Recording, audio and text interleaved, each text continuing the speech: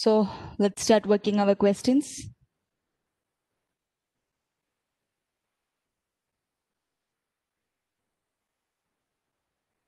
I hope discuss ചെയ്ത theories ഒക്കെ മറന്നിട്ടുണ്ടാവില്ല എന്ന് കരുതുന്നു നമ്മുടെ ക്ലാസ്സസ് തിയറീസ് കഴിഞ്ഞിട്ട് കുറച്ച് നാളായി സോ ഇടക്കിടക്ക് അതിന്റെ ഒന്ന് റിവിഷൻ നിങ്ങൾ പോകണം കേട്ടോ അല്ലെങ്കിൽ മറന്നു പോകാൻ സാധ്യതയുണ്ട് ബിക്കോസ് നമ്മൾ ക്വസ്റ്റ്യൻസ് കംപ്ലീറ്റ് ചെയ്തിട്ടില്ല. സോ ക്വസ്റ്റ്യൻസ് കംപ്ലീറ്റ് ചെയ്യാതെ തിയറി മാത്രം കംപ്ലീറ്റ് ചെയ്തപ്പോൾ ചിലപ്പോൾ കൺസെപ്റ്റ്സ് ഒക്കെ ഒന്ന് മറന്നു പോകാനായിട്ടുള്ള സാധ്യതയുണ്ട്. സോ റെഗുലർ ആയിട്ട് ജസ്റ്റ് ഒന്ന് റിവൈസ് ചെയ്തിട്ട് പോകാം. Okay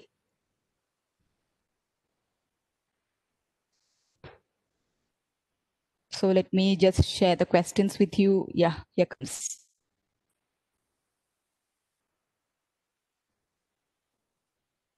Just a moment.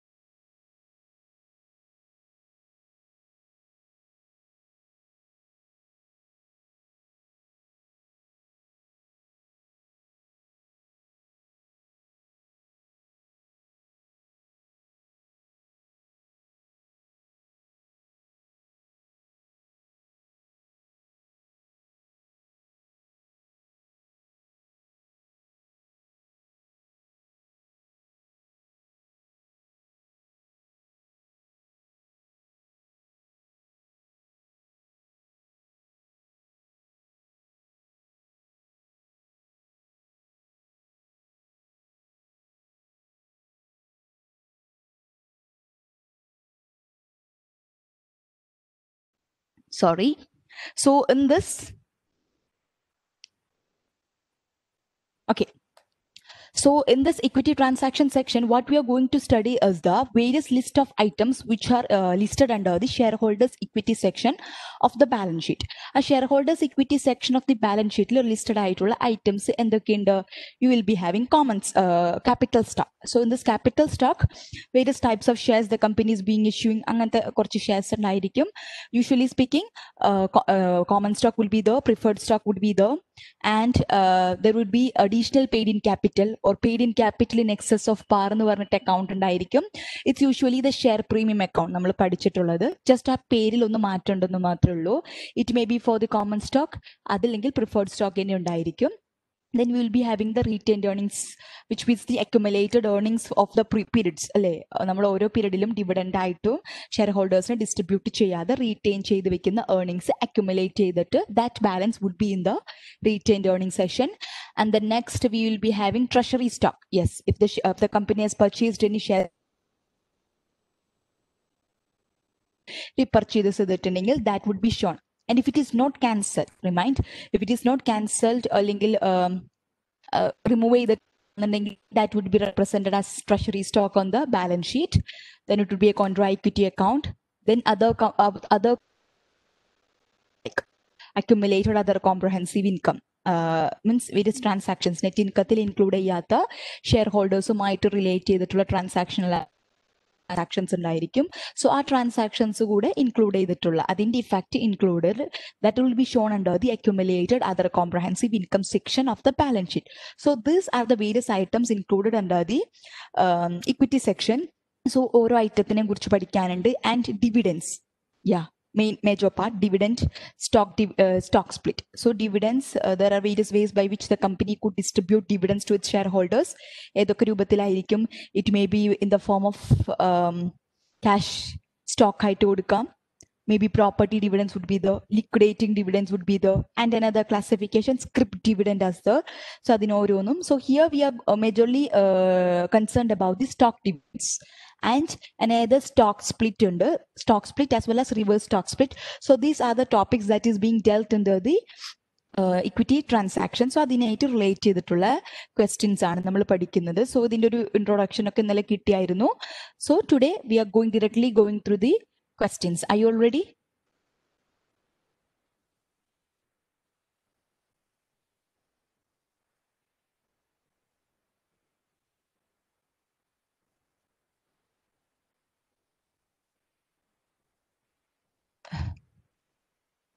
Just a moment.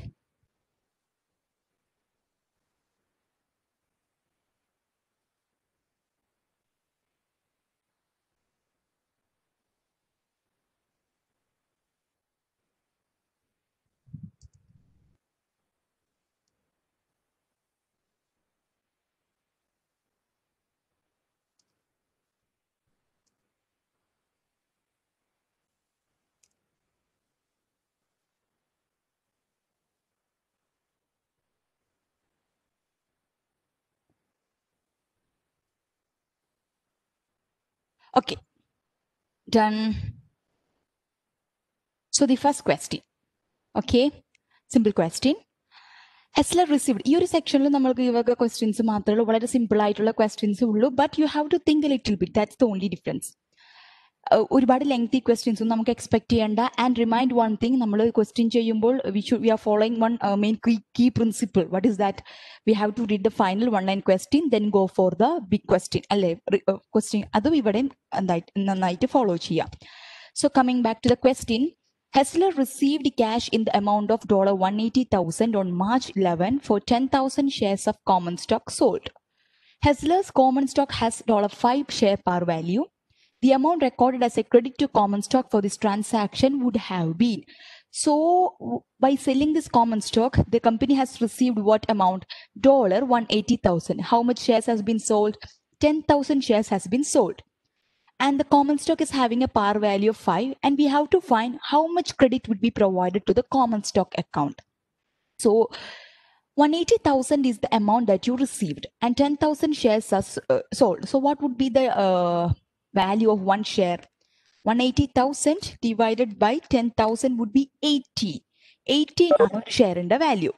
Then if 18 is one share value and one share is having a par value of 5 what is the uh, uh, paid in capital in excess of par?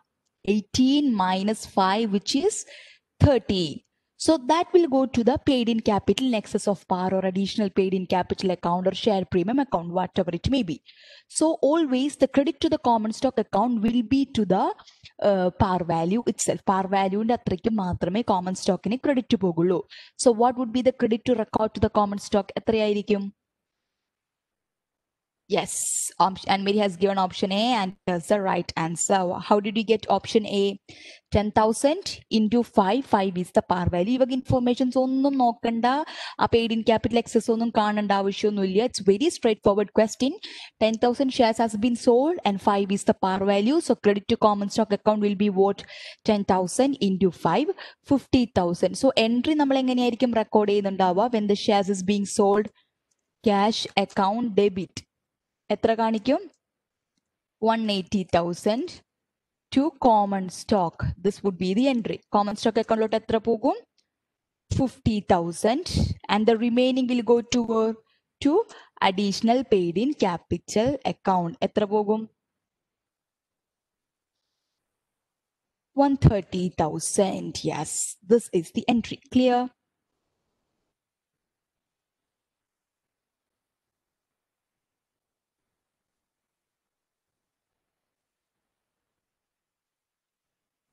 Okay. So moving on to the next question. ഇത് പെട്ടെന്ന് തന്നെ കഴിയൂട്ടോ നമ്മുടെ. Yeah this quest നമ്മൾ already discuss ചെയ്തിട്ടുണ്ട്. Remember ഓർക്കുന്നുണ്ടോ?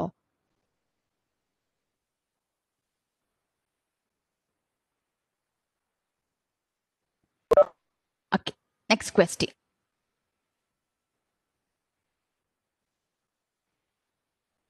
which one of the following item most likely increases earning oh, okay ഇത് നമ്മൾ ചെയ്തിട്ടുള്ള ക്വസ്റ്റ്യൻ തന്നെയാണ് okay when cash dividends are declared which account is affected cash dividend declare ചെയ്യുമ്പോൾ ഏത് account ആണ് എഫക്ട് ചെയ്യുന്നത് option A retained earnings option B dividends receivable option C third question answer എന്താ Okay, third question നമ്മൾ ചെയ്തിട്ടുണ്ട് okay let's discuss once more which one of the following item most likely increase earnings per share of a corporation purchase of treasury stock earnings per share increase ചെയ്യാം what is earnings per share earnings per share is equal to income available to the common shareholders divided by the number of shares outstanding അല്ലേ so uh, purchase of treasury stock so income available to holders increase ആവുകയാണെങ്കിൽ E P S increase ആകും. അല്ലെങ്കിൽ denominator ആയിട്ടുള്ള number of shares decrease ആവുകയാണെന്നുണ്ടെങ്കിലും നമ്മുടെ earnings increase ആകും. So purchase of treasury stock നമ്മുടെ own shares നമ്മൾ മാർക്കറ്റിൽ നിന്ന് റീപർച്ചേസ് ചെയ്യുകയാണെന്നുണ്ടെങ്കിൽ what will happen to the number of outstanding shares it will reduce it will decrease if the outstanding shares is decreased our E P S will what will increase payment of stock dividend. When you pay dividend in the bo- form of stock, the number of shares will increase, so earnings per share will decrease. Declaration of stock split. Stock split declare ചെയ്യുമ്പോൾ what will happen? The number of shares increases, thereby the earnings per share decreases. A reduction in amount of cash dividend paid to common shareholders. No, dividend pay ചെയ്യുന്നത് കുറച്ചിട്ടുണ്ടെങ്കിൽ നമ്മുടെ ഏർണിങ്സിനെ affect ചെയ്യില്ല it is out of the earnings dividend is paid So അതിൽ കുറവുണ്ടെന്ന് വിചാരിച്ചിട്ട് ഏർണിങ്സിൽ affect ചെയ്യുന്നില്ല. So the answer is option A purchase of treasury stock you remember this question നമ്മൾ അതേ വർക്ക്ഔട്ട് ചെയ്തൊരു ക്വസ്റ്റ്യൻ ആണ്.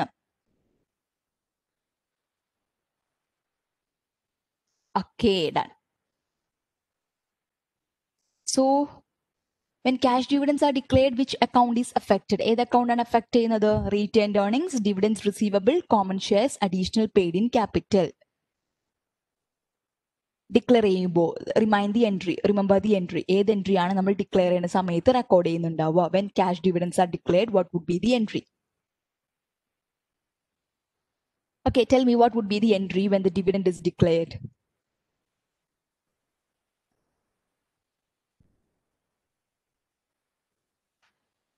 Yes, right answer.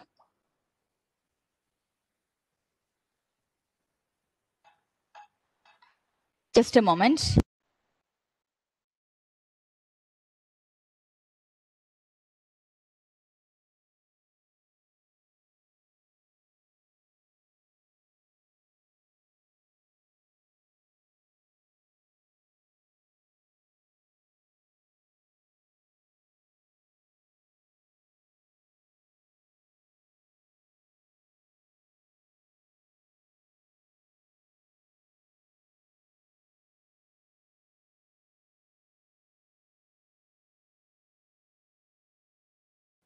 Okay. Uh, who has given the entry? Yes, retained earnings account debit to dividend payable. Right, Anna, right answer. So retained earnings will be debited, dividend payable will be credited. ഇവിടെ dividend payable എന്ന് പറഞ്ഞൊരു account ഇല്ല so ആ എൻട്രിയിൽ നമ്മളുള്ള dividend receivable dividend declare ചെയ്യാൻ means we have to pay it is not receivable to us common shares declare ചെയ്യുന്ന സമയത്തുള്ള common shares cash dividend ആണെന്നുണ്ടെങ്കിൽ common ഷെയർസിനെ affect ചെയ്യണില്ല ഇവിടെ stock dividend definitely Common shares, but not at the time of dividend declared, but at the time of payment of dividend. Additional paid in capital no declare ചെയ്യുന്ന സമയത്ത് retain ഏർണിംഗ്സിന് നമ്മൾ debit ചെയ്യുന്നു. ആ amount നമ്മൾ dividend പേയബിളിലോട്ട് കൊടുക്കുന്നു. When the dividend is paid ആ സമയത്ത് അഡീഷണൽ പെയ്ഡ് ഇൻ ക്യാപിറ്റലിനെ എഫക്ട് ചെയ്യണേ ഇല്ല. If it is a stock dividend definitely but if since it is a cash dividend common ഷെയർസിന്റെ ഭാഗത്തേക്കേ പോണ്ട. Clear ആയോ The entry, yes, Hannah has given the right entry. Retained earnings account debit to dividend payable. So അതിലുള്ള ഏതൊരു ഒരു account retained earnings ആണ്.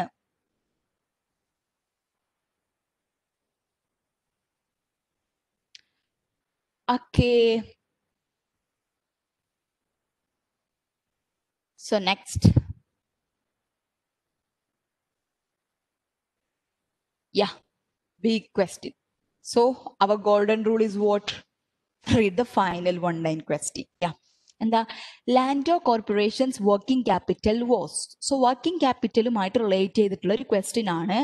And when you observe the option and decreased by dividend declaration, increased by dividend payment. So dividend declaration, dividend payment-ഉമായിട്ട് relate ചെയ്തിട്ടുള്ളതാണ്. Which means that so we have to find what will be the effect on the working capital when the dividend is declared, when the dividend is paid.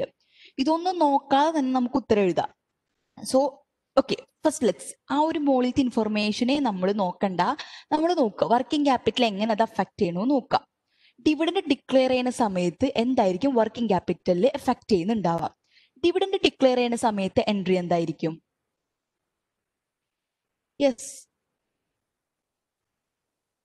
retained earnings account debit to what to dividend payable അല്ലേ?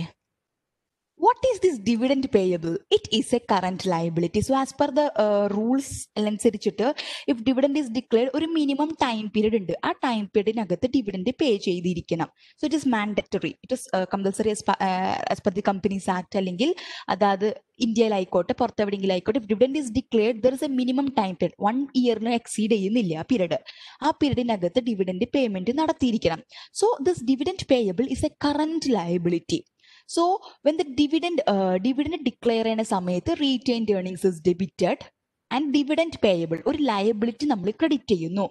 Since this is a current liability it is having an effect on the working capital current liability working capital working capital is equal to current assets minus current liabilities so current asset increase ആയി current liability increase ചെയ്യുകയാണെന്നുണ്ടെങ്കിൽ working capital എന്തായിരിക്കും effect what will happen to the working capital?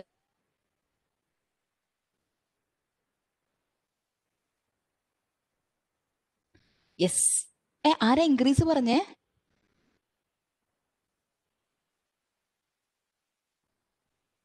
Okay decrease അതന്നെ. Current liability നമ്മൾ കുറച്ച് കളയുന്ന സാധനമല്ലേ? കുറച്ച് കളയുന്നത് കൂടിയിട്ടുണ്ടെങ്കിൽ എന്തായിരിക്കും എഫക്ട് ഡിക്രീസ് ആകും വർക്കിംഗ് ക്യാപിറ്റൽ ഓക്കെ ഇനി ഡിക്രീസ് ആയി എടുക്കണം കറണ്ട് ലൈബ് ഓക്കെ ഇനി ഈ ഡിവിഡന്റ് പേയ്മെന്റ് ചെയ്യണ സമയത്താന്ന് വിചാരിച്ചോ? ഡിവിഡന്റ് പേയ്മെന്റ് എങ്ങനെയാണ്? ഇപ്പൊ ക്യാഷ് ഡിവിഡന്റ് ആണെങ്കിൽ what would be the entry to record at the time of the payment എന്തായിരിക്കും entry dividend payable account debit to what to cash account yes so dividend payable ലയബിലിറ്റിയും കുറഞ്ഞു നമ്മുടെ asset ആയിട്ടുള്ള ക്യാഷും കുറഞ്ഞു. So current liability decreased, cash decreased, current asset decreased. So current liability current asset decrease ആയി working capital current assets minus current liability so രണ്ട് സൈഡിലും decrease ആയിട്ടുണ്ടെങ്കിൽ working capital എന്ത് ചേഞ്ച് ആയിരിക്കും ഇൻക്രീസ് ആവോ ഡിക്രീസ് ആവോ നോ ചേഞ്ച് ആണോ ഒരു ഇമാജിനറി ഫിഗർ എടുത്ത് നോക്കുക. ഒരു ഹൺഡ്രഡ് തൗസൻഡും ഫിഫ്റ്റി തൗസൻഡും എടുത്ത് നോക്കുക. അല്ല ഹൺഡ്രഡ് തൗസൻഡും സെവന്റി ഫൈവ് തൗസൻഡും എടുത്ത് നോക്കുക. Current asset hundred thousand current liability seventy five thousand hundred thousand minus seventy five thousand twenty five thousand is അവ working capital same amount decrease ആയെന്ന് വിചാരിക്കുക. ടെൻ തൗസൻഡ് ഡിക്രീസ് ആയി. Hundred thousand became ninety thousand twenty five seventy five thousand became what sixty five thousand ninety thousand minus sixty five thousand എത്രയാണ്? same 25,000. So if the current assets and current liability decreased by the same amount, the working capital remains unchanged. So what would be the answer?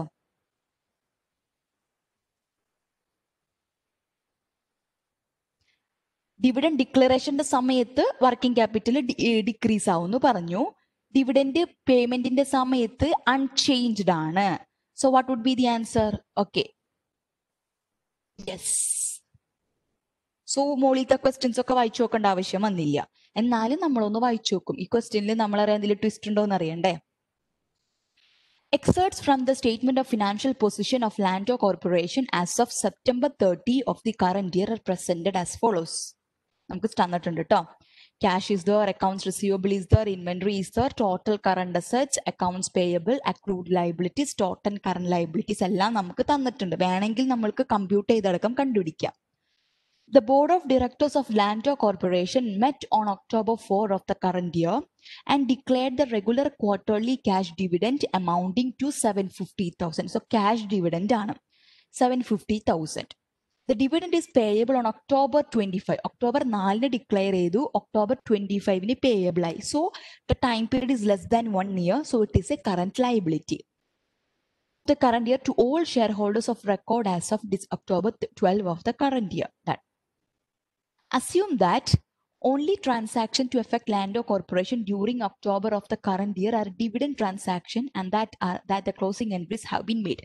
So dividend transaction മാത്രം നമ്മൾ consider ചെയ്താൽ മതി so അങ്ങനെയാണെന്നുണ്ടെങ്കിൽ നോക്കാനാണ് പറഞ്ഞേക്കുന്നത് you could ഏത് compute and find compute ചെയ്തിട്ട് നമ്മൾക്ക് ഫൈൻ കണ്ടുപിടിക്കുക അല്ലാന്നുണ്ടെങ്കിൽ എന്താ പറയണേ കമ്പ്യൂട്ട് ചെയ്യാതെയും കണ്ടുപിടിക്കുക സോ ഡിപ്പെൻസ് നമ്മൾക്ക് ഏതാണോ? ചിലപ്പോൾ ഇങ്ങനെ തോന്നിയാൽ നമ്മൾക്കൊരു സംശയം ഉണ്ടായിരിക്കും. ഓ ഒന്നും കൂടെ ഒന്ന് കമ്പ്യൂട്ട് ചെയ്ത് നോക്കുക so no problem just compute it and find it out otherwise this is the answer so working ക്യാപിറ്റലിന്റെ components എന്താണ് നമ്മൾ നോക്കുക? ഡിവിഡന്റ് ഡിക്ലറേഷനും ഡിവിഡന്റ് പേയ്മെന്റിന്റെ സമയത്തുള്ള എൻട്രിയും കൂടെ നന്നായി അറിഞ്ഞിട്ടുണ്ടെങ്കിൽ we could easily answer these questions without requiring read the above question മനസ്സിലായോ?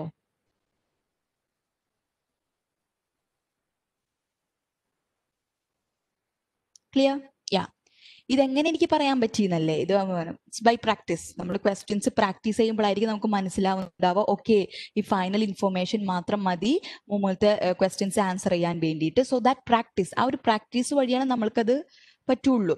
അല്ലെങ്കിൽ നമ്മൾക്ക് സംശയമായിരിക്കും. ഓക്കെ മുകളിലത്തത് വായിച്ചു നോക്കണം വായിച്ചു നോക്കണം വായിച്ചു നോക്കണം. അങ്ങനത്തെ ഒരു സംശയം ഉണ്ടെങ്കിൽ just go and read out the question above and answer it okay so നമുക്കിങ്ങനെ ക്വസ്റ്റ്യൻസ് ഒരുപാട് ഇങ്ങനെ ചെയ്ത് ചെയ്ത് ചെയ്ത് വരുമ്പോൾ നമുക്ക് മനസ്സിലാകും. ഇങ്ങനെ ആവശ്യമില്ല. ഇത് ജസ്റ്റ് ഈ ഫൈനൽ മാത്രം നോക്കിയിട്ട് നമ്മൾക്ക് ചെയ്യാവുന്നുള്ളത്.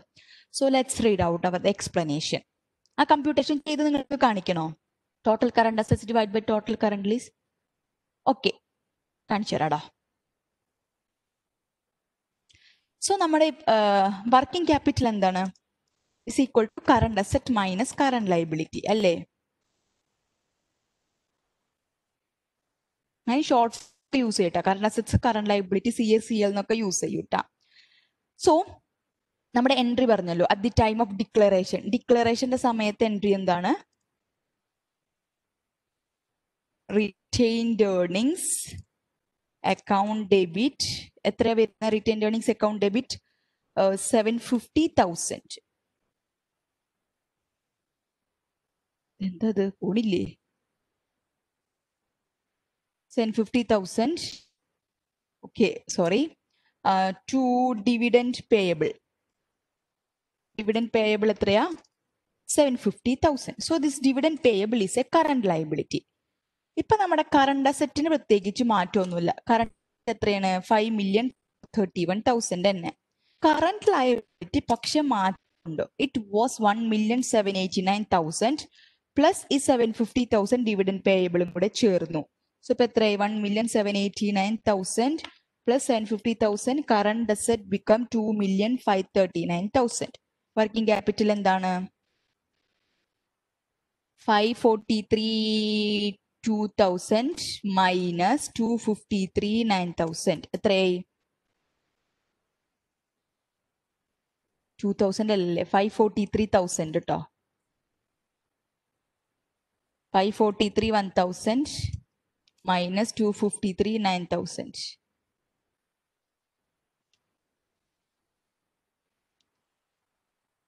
that's equal to 289 2000 yes. Okay this is at the time of what? Declaration. Any payment in the summit payment in the summit number in the 750,000 to get 70,000.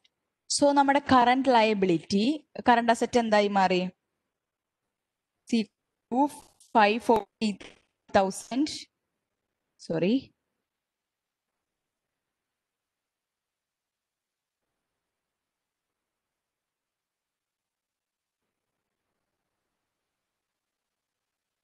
Five forty three one thousand minus നമ്മുടെ seven fifty thousand become 468,000. Current liability എന്തായി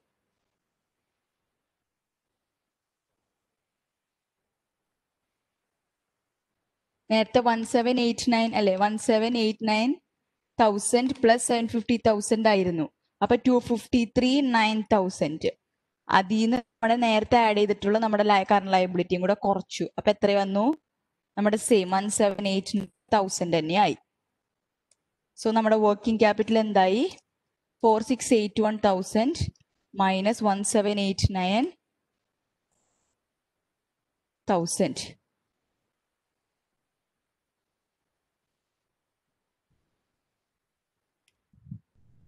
two eight nine two thousand ഇതന്നെയല്ലേ നേരത്തെ കിട്ടിയ ഉത്തരം?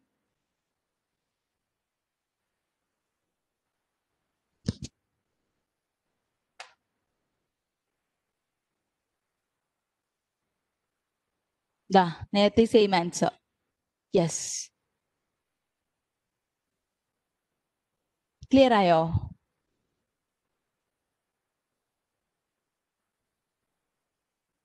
okay done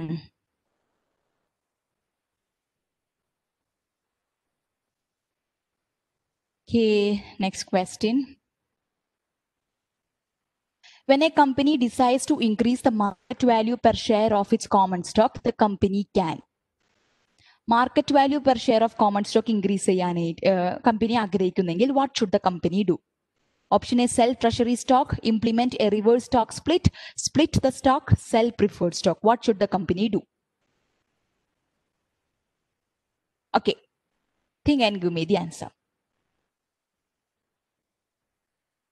Okay, so Krishna, answer. Krishnapriya has given me option B. Right answer. When you implement the reverse stock split, what will happen? The number of shares will decrease. അല്ലെ reverse stock split എന്ന് പറയുമ്പോൾ ഷെയർസിന്റെ എണ്ണം കുറയുന്നു the par value market value is increasing ഒരു ഷെയറിന്റെ par value increase ആകുന്നു അല്ലെങ്കിൽ market value increase ആകുന്നു number of shares is decreasing treasury stock sell ചെയ്യുമ്പോൾ it is not going to effect the market price നമ്മുടെ മാർക്കറ്റ് പ്രൈസിന് affect ചെയ്യുന്നില്ല കാരണം പാർ വാല്യൂലോ നമ്പർ ഓഫ് ഷെയർസിലോ ചേഞ്ച് വരുന്നില്ല. സ്പ്ലിറ്റ് ദ സ്റ്റോക്സ് സ്പ്ലിറ്റ് ചെയ്യുകയാണെന്നുണ്ടെങ്കിൽ number of shares increase par value decrease sell preferred stock no use in a reverse stock split the company reduces the number of shares outstanding For example, in a 1 4 2 reverse stock split, every two shares that are held by an investor become one share. This one share, however, has a value that is twice as high as an individual share before the reverse stock split. Therefore, a reverse stock split will increase the market value of a common share.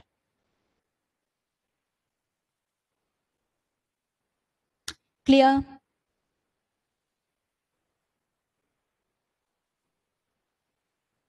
Okay. So can I move forward with the next question? Next question. Yeah, നമ്മൾ discuss ചെയ്തൊരു question ആണിത് this also we have discussed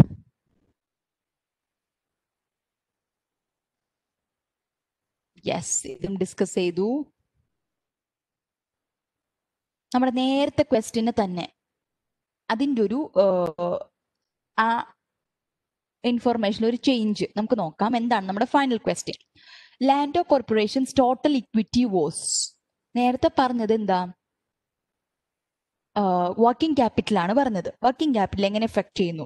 Here they're asking about the total equity how it is going to effect the total equity എന്നാണ് ചോദിച്ചേക്കുന്നത് so നേരത്തെ ക്വസ്റ്റിന്റെ particulars ഒക്കെ ഓർമ്മ ഉണ്ടാവുമല്ലോ regarding the dividend um, unchanged by the dividend declaration, decreased by the dividend payment, decreased by the dividend declaration and unchanged by the dividend payment, decreased by the dividend declaration and increased by the dividend payment, unchanged by either the dividend declaration or the dividend payment. So total equity, what are all the components in the total equity? It includes common stock, additional paid in capital, retained earnings, treasury stock, accumulated other comprehensive income. എല്ലാം include ആവും.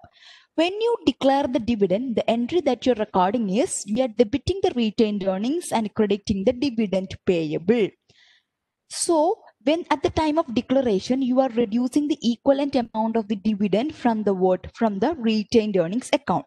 Since this retained earnings is a part of the total equity, what will happen to the total equity when the dividend is declared? Will it increase, decrease, or unchanged? Will it be unchanged? എന്തായിരിക്കും സംഭവിക്കേണ്ടാവാം yes decrease okay then the next at the time of dividend payment when the dividend is paid what would be the entry to record you have to debit the dividend payable and credit to the cash. Dividend payable account debit to cash. Dividend payable is a current liability. Cash is a current assets. Equity in the affect inundo. E dividend payable I kote, a cash I kote. It is not a component of the total equity. So it is not affecting the total equity. And there is answer.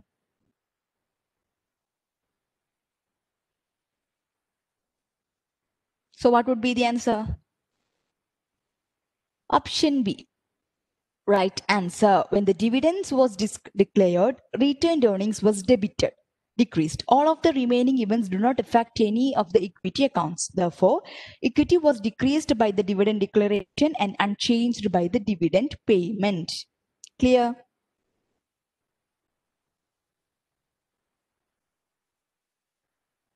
Okay. Do we have to read the above question? Just ഒന്ന് നോക്കിക്കേ സമാധാനം ഇല്ലാത്തൊരു അവസ്ഥ ഉണ്ടാവുമല്ലോ question കാണാതെ. നോക്കിക്കോളൂ.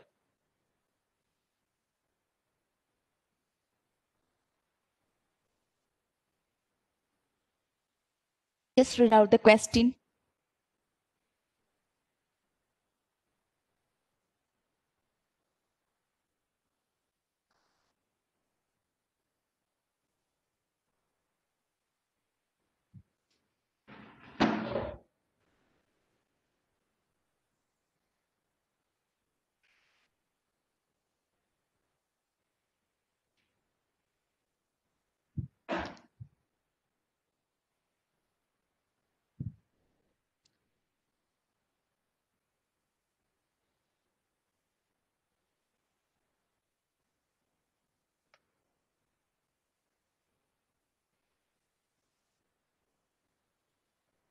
I know.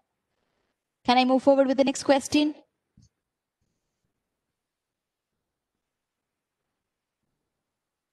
Okay.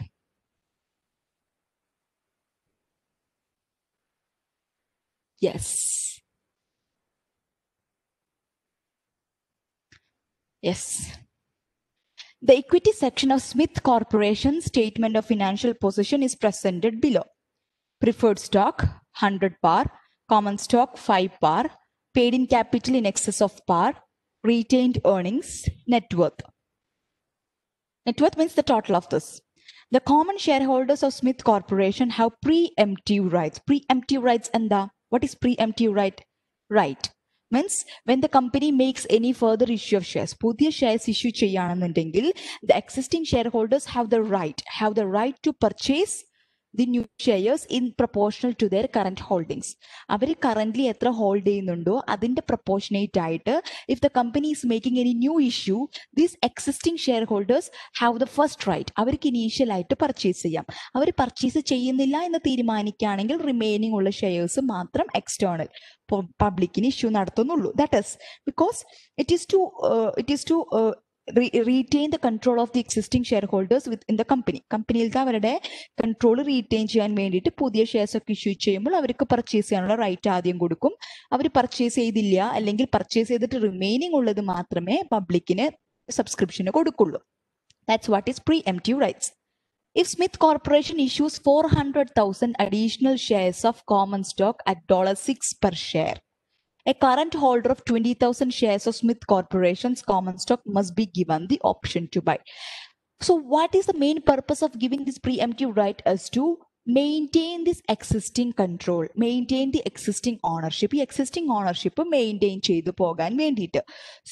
In this right issue, in the issue, new issue of shares, the existing share- shareholders has are given the right to purchase shares in proportion to their existing holding. അവർ എക്സിസ്റ്റിംഗിൽ എത്ര hold ചെയ്യുന്നുണ്ട് ആ ഹോൾഡിങ്ങിന് proportionate ആയിട്ടുള്ള shares പുതിയ ഇഷ്യൂവിൽ purchase ചെയ്യാൻ പറ്റും so ഈ പുതിയ ഇഷ്യൂവിൽ എത്ര ഷെയർസ് ഇവർ പർച്ചേസ് ചെയ്യുന്നു എന്ന് കണ്ടുപിടിക്കാൻ വേണ്ടിയിട്ട് we have to find the existing ownership of the share holders exist എത്രയുണ്ട് നോക്കുക.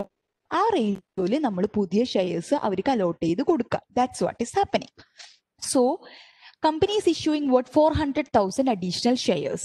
Current holder of 20,000 shares of Smith Corporation common stock must given the option to buy.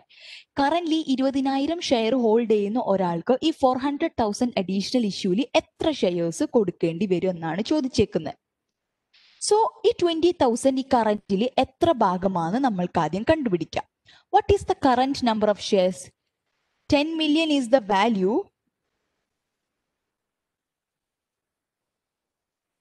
10 million is the value and what is the par value per share dollar 5 so 10 million by 5 what is the number of shares 2 million shares shares so twenty thousand shares ആണ് ഈ holder ഉള്ളത് so twenty thousand divided by two million എത്രയാണ് ഇയാളുടെ holdings നോക്കുക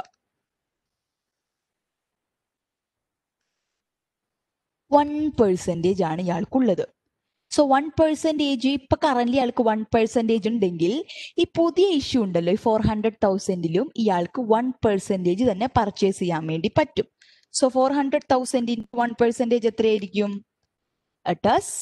Four thousand shares So the current holder of 20,000 shares of Smith Corporation's common stock must be given the option to buy how many shares? 4,000 shares, which is proportional to his current holding. Current holding എത്രയാ നോക്കുക current ഹോൾഡിങ്ങിന്റെ പ്രപ്പോർഷനിൽ പുതിയ shares അയാൾക്ക് കൊടുക്കുക മനസ്സിലായോ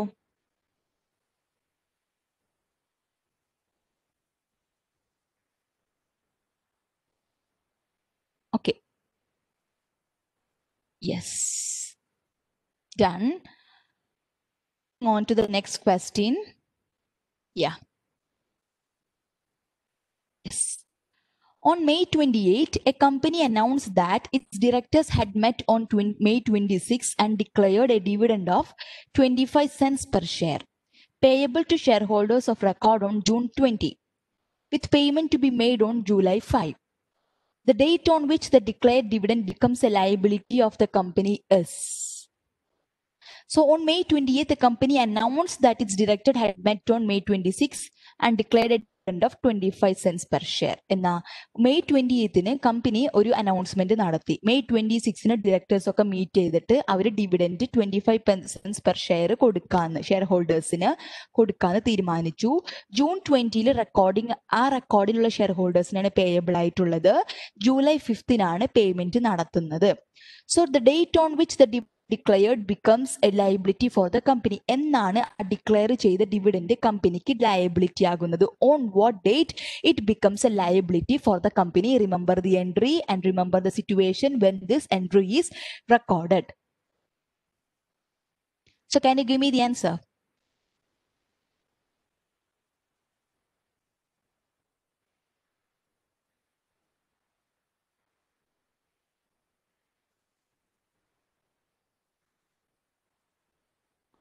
On ഏത് ഡേറ്റിലാണ് അത് liability ആകുന്നത്? അല്ലെങ്കിൽ ഓ ഏത് ഡേറ്റ് ആണ് നമ്മൾ ലയബിലിറ്റി വരുന്നത് നമുക്ക്? So remember the entry to രണ്ട് എൻട്രി ഉണ്ട്. June June twenty CO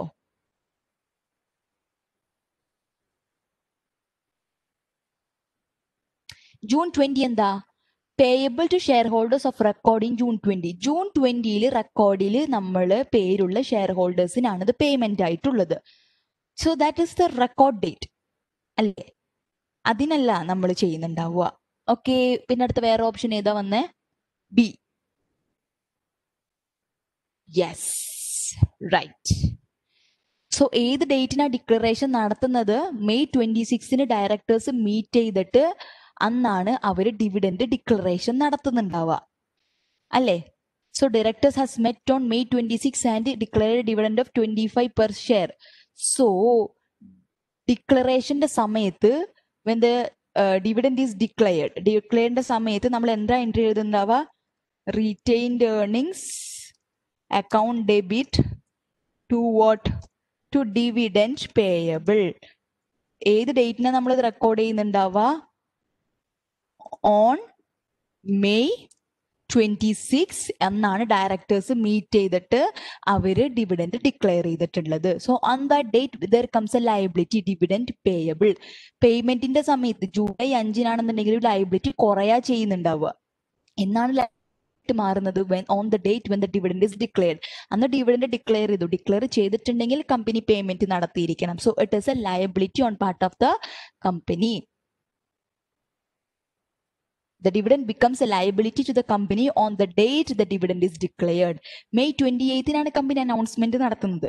Thus in matter May twenty സിക്സിന് directors meet ചെയ്ത് ഡിവിഡൻഡ് ഡിക്ലെയർ ചെയ്തിട്ടുണ്ടെങ്കിൽ അപ്പപ്പോൾ തന്നെ നമ്മൾ റെക്കോർഡ് ചെയ്തിരിക്കും. നമ്മുടെ ജേണൽ എൻട്രിയിലൊക്കെ നമ്മുടെ എൻട്രി ഒക്കെ പാസ് ചെയ്തിട്ട് ഡിവിൻ പേയബിൾ എന്ന് പറഞ്ഞിട്ട് ചെയ്തിട്ടുണ്ടായിരിക്കും. കമ്പനി അനൗൺസ്മെന്റ് നടത്തി. അതായത് മെയ് ട്വന്റി സിക്സിന് ഡയറക്ടേഴ്സ് ഒക്കെ മീറ്റ് ചെയ്തിട്ടുണ്ടായിരുന്നു. അവർ twenty five cents per share declare ചെയ്തിട്ടുണ്ടായിരുന്നു എന്ന് കമ്പനി പബ്ലിക്കലി അനൗൺസ് ചെയ്യുന്നതാണ്. ക്ലിയർ ആയോ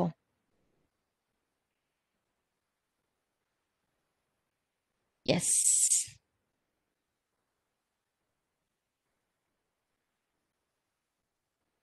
Yeah, we have done this question.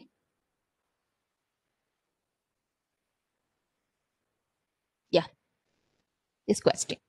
So ഇങ്ങനത്തെ ടൈപ്പ് ഓഫ് ക്വസ്റ്റ്യൻ നമ്മൾക്ക് എക്സ്പെക്ട് ചെയ്യാം കേട്ടോ Brady Corporation has 6,000 shares of 5% cumulative $100 par value preferred stock outstanding and 200,000 shares of common stock outstanding. Brady's board of directors last declared dividends for the year ended May 31, 2010. And there were no dividends in arrears at that time. For the year ended May 31, 2012, Brady had net income of 1,750,000 The amount board of directors is declaring a dividend for common shareholders equivalent to 20% of the net income. The total amount of dividends to be paid by Brady at May 31, 2012 is so Brady Corporation, the company is having uh, preferred stock as well as common stock. എന്തൊക്കെ preferred stock ആണ് ഉള്ളത്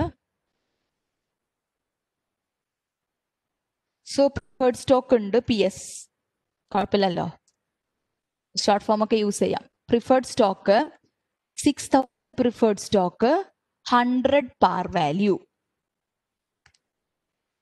അപ്പൊ six hundred thousand എത്ര percentage ആണ് അവർക്ക്? Five പെർസെന്റേജിന് dividend and the one thing is cumulative ആണത്.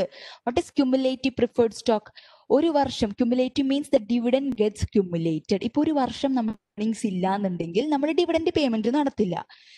Dividend payment നടത്തില്ല എന്നുണ്ടെങ്കിൽ if that common that preferred stock is a cumulative preferred stock അടുത്ത വർഷം നമ്മൾ ഇൻകം ഉള്ളപ്പോൾ മുന്നത്തെ വർഷം പേ ചെയ്യാതിരുന്ന ഡിവിഡന്റും കൂടെ ചേർത്ത് നമ്മൾ പേയ്മെന്റ് നടത്തണം. That is cumulative preferred stock the dividend if not if not paid it will get cumulated and needs to be paid in the subsequent years that is cumulative preferred stock ഇനി എത്ര common stock ഉണ്ട്? Common stock എത്രയുണ്ട്? Two hundred thousand shares of common stock outstand okay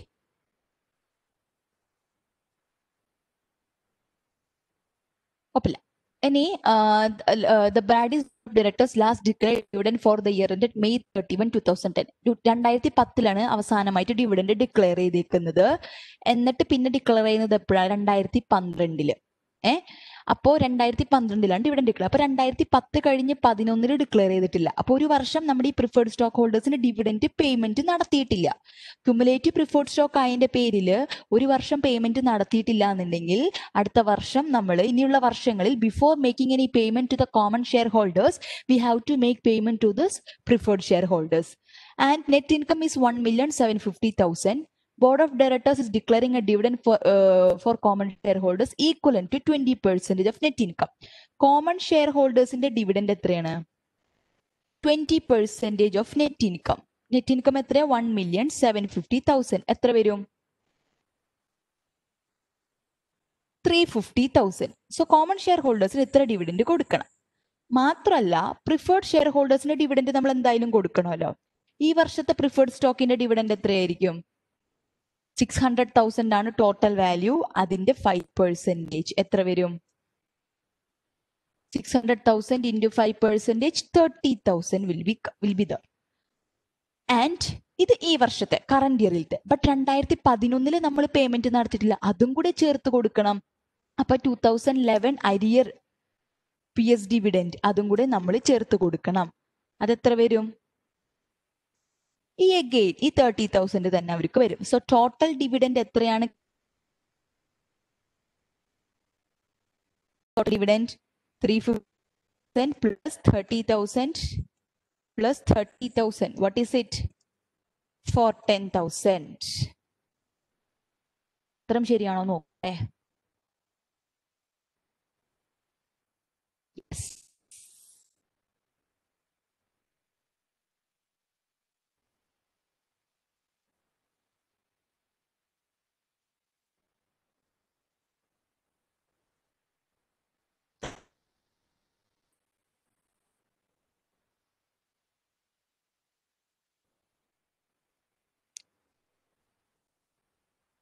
This type of questions you could expect.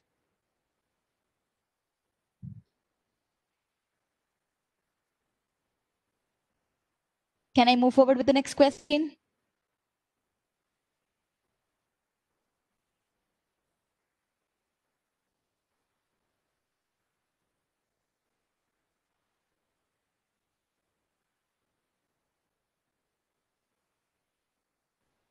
Okay.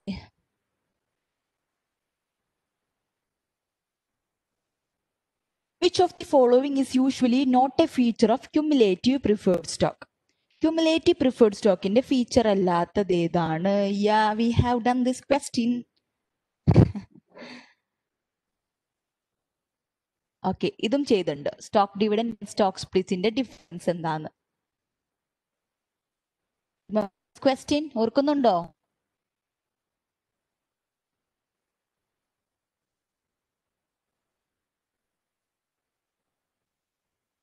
Yes.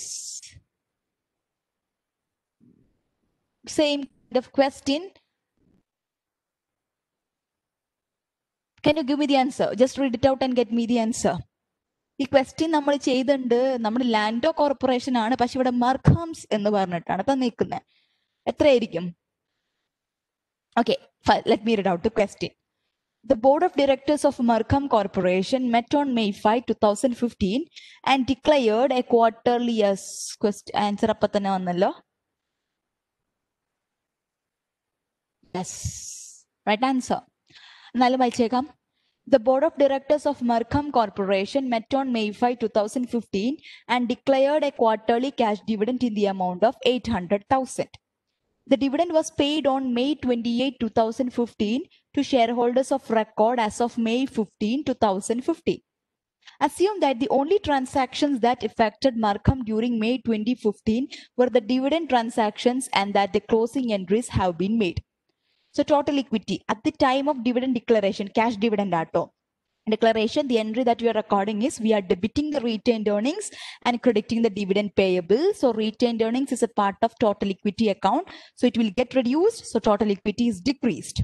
And at the time of payment, the entry is dividend payable account debit to cash. It is a current dividend payable is a current liability and cash is a current assets. Neither of them is a part of total equity account. So it is not going to affect the total equity account. So at the time of dividend payable, the total equity will be unchanged.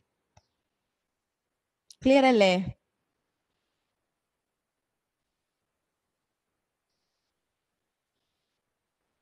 Okay. Moving on to the next question.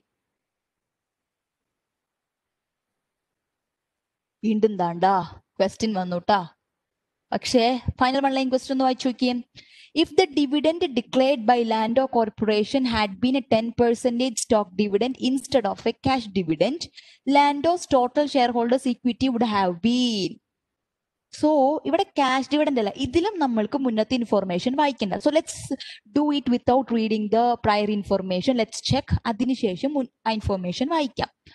If the dividend declared by Lando Corporation had been a 10% stock dividend instead of a cash dividend, Lando's total shareholders equity would have been.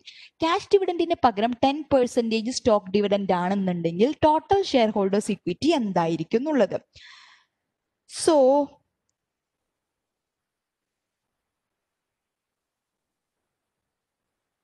ഞാൻ entry പറയാം. I will detect dictate to you the entries so at the time of declaration ഡിക്ലറേഷന്റെ സമയത്ത് നമ്മൾ entry ഇടുന്നുണ്ടാവുക.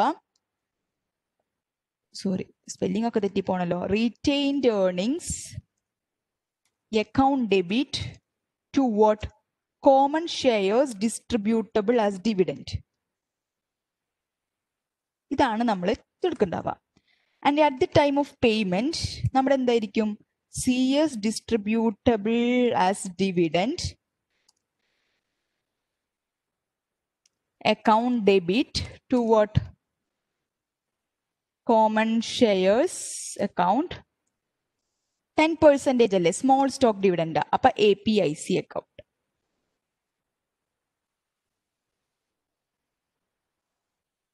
okay And the C S distribute നമ്മൾ cash ഡിവിഡൻഡിന്റെ സമയത്ത് the stock dividend payable is a current liability but this in the in the in the event of stock dividend the con- common shares distributed as di- dividend എന്ന് പറഞ്ഞിട്ടുള്ള account it's not a current liability അത് equity സെക്ഷനിൽ തന്നെയുള്ള ഒരു adjustment account ആണ്. So this common shares distributor plus dividend പറഞ്ഞിട്ട് liability സെക്ഷനിലായിരിക്കില്ല കാണിക്കുന്നുണ്ടാവുക. ഇക്വിറ്റി സെക്ഷനിൽ തന്നെയായിരിക്കും നമ്മൾ കാണിക്കുന്നുണ്ടാവുക. കോമൺ സ്റ്റോക്കിന്റെ താഴെ കാണിക്കും അത്. So at the time of declaration നമ്മൾ കോമൺ ഷെയർ ഹോൾഡേഴ്സിന്റെ ഇക്വിറ്റി ഷെയർ ഹോൾഡേഴ്സ് ഇക്വിറ്റി സെക്ഷനിൽ നോക്കുകയാണെങ്കിൽ റീറ്റൈൻഡ് ഏർണിങ്സ് കുറയുന്നു. Common shares distributor as dividend എന്ന് പറഞ്ഞ അക്കൗണ്ട് വരുന്നു. സോ അത് രണ്ടും ഈ common share share holders equity സെക്ഷനിന്റെ അണ്ടറിൽ വരുന്ന ഒരു അക്കൗണ്ട് ആണ്. പേയ്മെന്റിന്റെ സമയത്തോ ഈ അക്കൗണ്ട് മാറുന്നു കോമൺ ഷെയർസും എ പി ഐ സിയും വരുന്നു. So actually speaking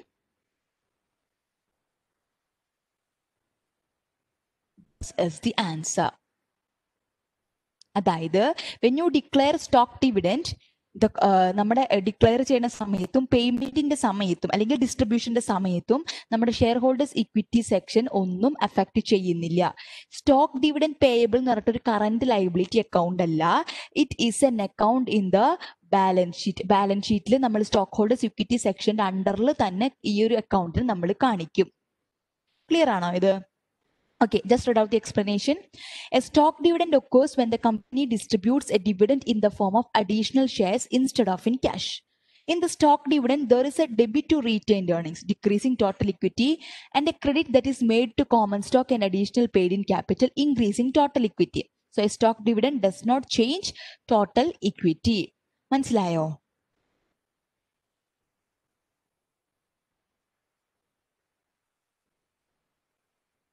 Yes, that's the main difference that you have to note. ഈ common shares distributable as dividend എന്ന് പറഞ്ഞിട്ട് നമ്മുടെ dividend payable cash ഡിവിഡന്റിന്റെ okay okay once more yeah so at the time of declaration of this dividend it is a stock dividend and ten percentage stock dividend ആണ് so small stock dividend ആണ്. So അതിന്റെ നമുക്ക് ചോദിക്കുന്നില്ല share holders ഇക്വിറ്റിനെ എങ്ങനെ affect ചെയ്യണമെന്നാണ് ചോദിച്ചിരിക്കുന്നത് At the time of declaration of dividend, the entry you are recording is retained earnings will be debited and stock dividend so for recording ആ stock dividend പേയബിളിനെ കാണിക്കാൻ വേണ്ടിയിട്ട് we will be creating an account which is common shares distributable as dividend അല്ലെങ്കിൽ stock dividend payable എന്ന് കാണിച്ചാലും മതി. No matter but the stock dividend payable or common shares distributable as dividend എന്ന് പറഞ്ഞിട്ടുള്ള it's not a liability it is an account which is shown under the equity section itself equity സെക്ഷനിൽ നമ്മൾ കാണിക്കുന്ന ഒരു account തന്നെയാണ് ഇത്. ഡിക്ലറേഷന്റെ സമയത്ത്. വെൻ ഇറ്റ് ഈസ് പെയ്ഡ് അല്ലെങ്കിൽ ഡിസ്ട്രിബ്യൂട്ടേഷൻ നടത്തുന്ന സമയത്താണെന്നുണ്ടെങ്കിൽ common shares distributable as dividend എന്ന് പറഞ്ഞ അക്കൗണ്ട് നമ്മൾ ക്യാൻസൽ ചെയ്യുന്നു. നമ്മൾ കോമൺ ഷെയർസിലോട്ട് പോകുന്നു. പിന്നെ ആക്സസ് ഉണ്ടെങ്കിൽ അഡീഷണൽ പെയ്ഡ് ഇൻ ക്യാപിറ്റലോട്ട് നമ്മൾ കൊടുക്കുന്നു. So actually speaking this retain earnings account common shares distributable as dividend or common shares or A P I C account ഇത് എന്തിന്റെ അണ്ടറിലാണ് ഉള്ളത്? Equity total share holders equity സെക്ഷനിന്റെ താഴെ തന്നെയുള്ള അക്കൗണ്ട് ആണ്. ഇതിലാണ് ഇൻക്രീസും ഡിക്രീസും വരുന്നത്. അപ്പോൾ it is not going to effect the total equity section account if stock dividend stock dividend ആണെങ്കിൽ അത് ടോട്ടൽ ഷെയർ ഹോൾഡേഴ്സ് ഇക്വിറ്റിനെ ഡിക്ലറേഷന്റെ സമയത്തും എഫക്ട് ചെയ്യില്ല ഡിസ്ട്രിബ്യൂഷന്റെ സമയത്തും എഫക്ട് ചെയ്യില്ല. ക്ലിയർ ആണോ?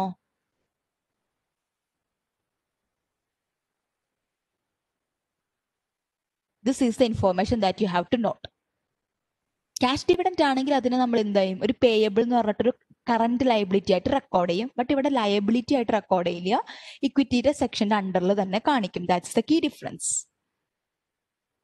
okay next question Yeah.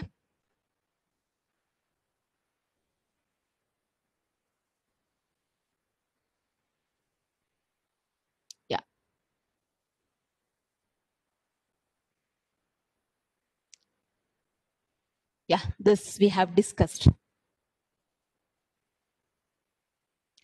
Yeah. Which of the following types of dividend do not reduce equity in the corporation? ഇക്വിറ്റിനെ റെഡ്യൂസ് ചെയ്യാത്ത ഡിവിഡൻഡ് ഏതാണ്? Liquidating dividends stock dividend and split ups in the form of a dividend property dividends cash dividend which of the dividend is not reducing the equity ഇപ്പൊ തന്നെ നമ്മളൊരു കാര്യം ചെയ്തത്.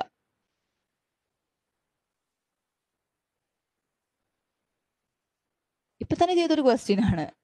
So what is it which type of dividend does not reduce the equity ഇക്വിറ്റിന് reduce ചെയ്യുന്നില്ല. ഏത് type of dividend ആണ്?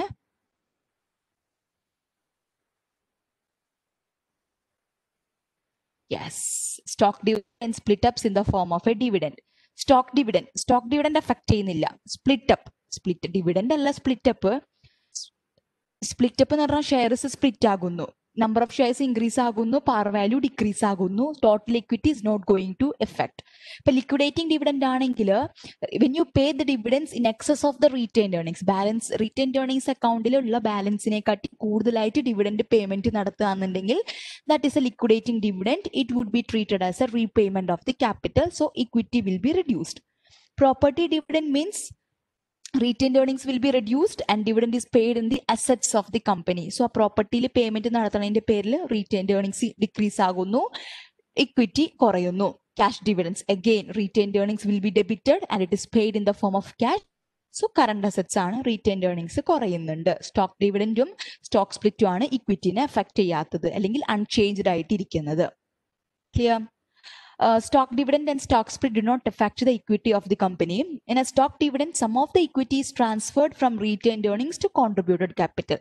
ആ ഒരു ടോട്ടൽ ഇക്വിറ്റി അണ്ടറിലുള്ള അക്കൗണ്ട്സ് തമ്മിലുള്ള ഒരു അഡ്ജസ്റ്റ്മെന്റ് ആണ് റീറ്റൈൻഡ് ഏർണിംഗ്സിൽ നിന്ന് എടുത്തിട്ട് കോമൺ ഷെയർസ് അല്ലെങ്കിൽ കോൺട്രിബ്യൂട്ടഡ് ക്യാപിറ്റൽ നമ്മൾ കൊടുക്കുന്നു എന്ന് മാത്രം but the total equity remains the same. In a stock split, there is no effect, not even a reclassification on the equity of the company. യാതൊരു എഫക്റ്റും ഇല്ല നമ്പർ ഓഫ് ഷെയർസിലും ആ പാർ വാല്യൂല് മാത്രം ഒരു അഡ്ജസ്റ്റ്മെന്റ് മാത്രം വരുത്തുന്നത്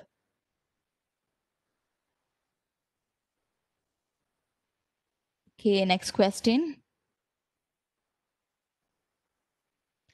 The par value of common stock represents the liability ceiling of a shareholder when a company undergoes bankruptcy proceedings, the total value of the stock that must be entered in the issuing corporation's records, the estimated fair value of the stock when it was issued, the amount that must be recorded on the issuing corporation's record as paid in capital. What is the par value of common stock? Yeah, par value of common stock in importance എന്താന്ന് പഠിച്ചു we have learned how what is the par value of the common stock and what is its implications so tell me what is the par value of common what it represents is it the liability ceiling of the shareholder Is it the uh, uh, total value of stock that is recorded in the books is it the first fair value അല്ലെങ്കിൽ paid in capital ആയിട്ട് record ചെയ്യേണ്ട value ആണോ ഏതാണ് ഈ par value എന്താണ് par value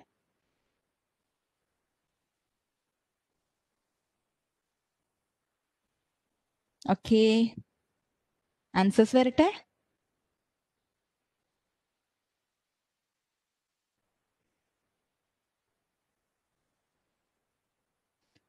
Option A. So Krishnapriya has given option A. Yes, that's the right answer. Par value or the face value of the share is the liability ceiling of a shareholder when a company undergoes bankruptcy proceedings. അല്ലെങ്കിൽ ലിക്വിഡേഷന്റെ സമയത്തോ ബാങ്ക്രപ്സിയുടെ സമയത്തൊക്കെ the shareholders, what is the maximum liability? The main characteristics of a corporation or a company is that it is having limited liability. What is the limitation of the liability for the shareholders? It is up to the face value of the share. അവരുടെ face value of ഷെയറിന്റെ അത്രയ്ക്ക് മാത്രമേ അവർക്ക് liability ഉണ്ടാകുള്ളൂ So it is a liability ceiling, liability limit of a shareholder. And what is option B says? The total value of the stock that must be entered in the issuing corporation's record.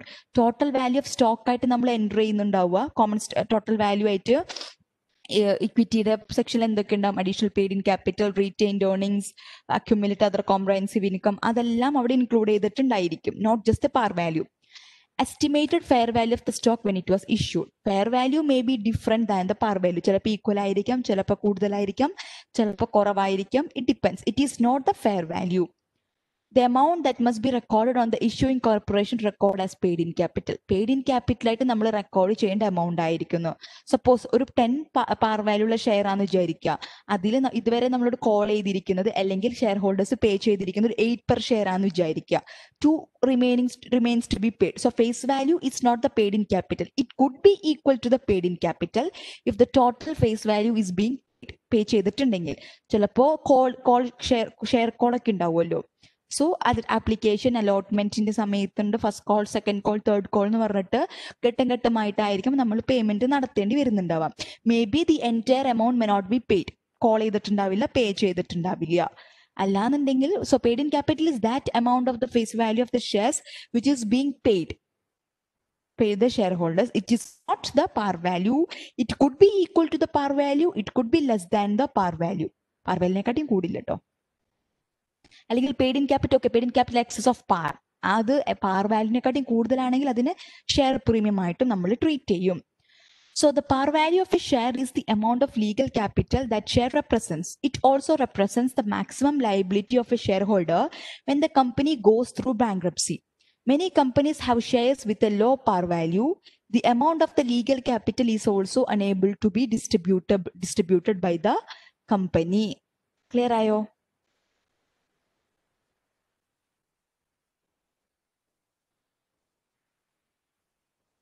Okay, can I move forward with the next question? Okay. Okay. A publicly traded company has 100,000 outstanding shares of common stock with a par value of $5. The company uses US GAAP to prepare its financial statements. The company recently declared a 5% stock dividend. On the date the stock dividend was declared, the company's stock was trading at 25 per share.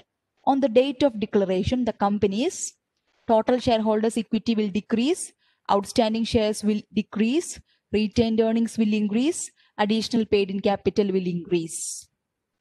Yeah.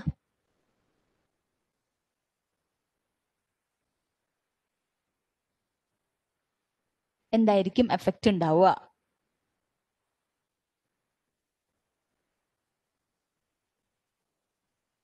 ഒരു five percentage stock dividend ആണ്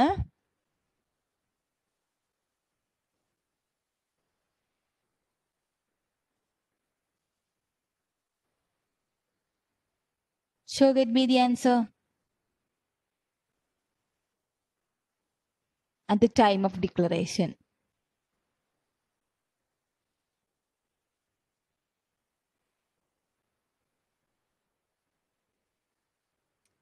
So one hint is that choose among the best option ഇതിൽ ഏറ്റവും suitable ആയിട്ട് ഒരു option തിരഞ്ഞെടുക്കുക almost approximated ആവുന്ന ഒരു option തിരഞ്ഞെടുക്കുക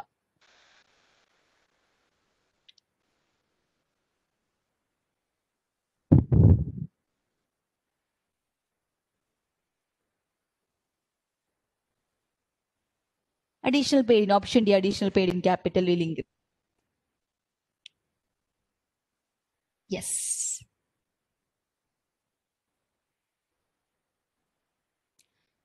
A stock dividend, who has given the answer? And Mary and Krishna Priya. Good. A stock dividend is dividend payable in additional shares of stock. 5% stock dividend means other small stock dividend. ആണ്. So we have to value it at what? At the fair value. അപ്പോ അപ്പൊ നമ്മൾ എന്തായിരിക്കും ഇവിടെ ഡിക്ലറേ എന്നൊക്കെ പറയും.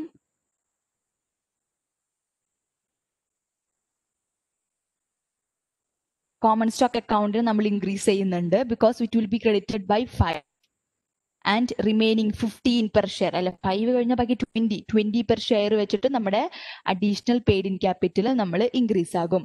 So ആ ഒരു ഡിവിഡൻ ഡിക്ലറേഷന്റെ സമയത്ത് additional paid in capital increase ആവും എന്നുള്ളതാണ് കാരണം ഇവിടെ നമ്മൾ നോക്കുക ഓരോ ഓപ്ഷൻസും ചെക്ക് ചെയ്യണം കേട്ടോ total shareholders equity will decrease total shareholders equity decrease ആവുന്നൊന്നുമില്ല. കാരണം എന്ത്? കാരണം എന്താ? ഡിക്ലറേഷന്റെ സമയത്തും പേയ്മെന്റ് സമയത്തും ടോട്ടൽ ഷെയർ ഹോൾഡേഴ്സ് ഇക്വിറ്റിനെ അഫക്ട് ചെയ്യുന്നില്ല എന്ന് പറഞ്ഞിട്ടുണ്ട്. സ്റ്റോക്ക് ഡിവിഡൻഡ് ആണെന്നുണ്ടെങ്കിൽ. Means total equity remains unchange അതന്നെ. ഔട്ട്സ്റ്റാൻഡിങ് ഷെയർസ് വിൽ ഡിക്രീസ് അല്ല. ഔട്ട്സ്റ്റാൻഡിങ് ഷെയർസ് ഇൻക്രീസ് ആകും. ഫൈവ് പെർസെന്റേജ് കൂടെ കൊടുക്കേണ്ടി വരും. ഹൺഡ്രഡ് തൗസൻഡ് ഷെയർസ് ഉണ്ട്. അപ്പൊ hundred thousand five percentage declare ചെയ്യുമ്പോൾ ഫൈവ് തൗസൻഡ് കൂടെ വരും. So hundred thousand plus five thousand ഇപ്പൊ one naught five thousand shares ആയി. ഇനി retained earnings will increase no retained earnings is going to decrease കാരണം എന്താ? റീറ്റൈൻഡ് ഏർണിംഗ്സിനെ ഡെബിറ്റ് ചെയ്തിട്ടാണ് നമ്മൾ stock dividend additional paid in capital will increase right answer കാരണം additional paid in capital എന്താണ്? നമ്മൾ ഡിവിഡൻ ഡിക്ലെയർ ചെയ്തു. എന്റെ പേയ്മെന്റിന്റെ സമയത്ത് റീറ്റൈൻഡ് അതിൽ നിന്ന് എടുത്തിട്ട് മീൻസ് അവർ കൺസോളിറ്റ് ചെയ്തേക്കുന്ന ആട്ടാ അപ്പൊ ഇങ്ങനെ വരും. Retained earnings account debit to common share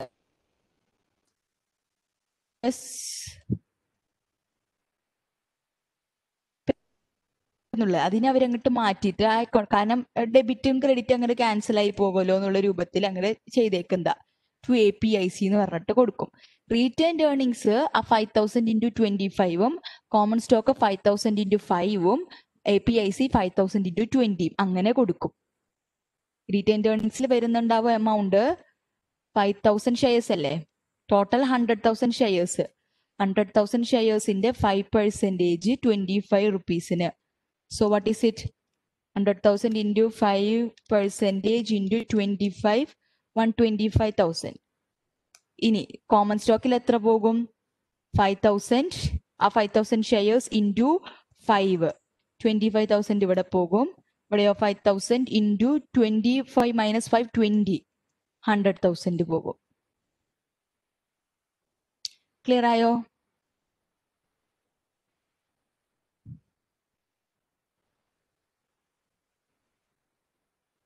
Yes Can I move forward with the next question?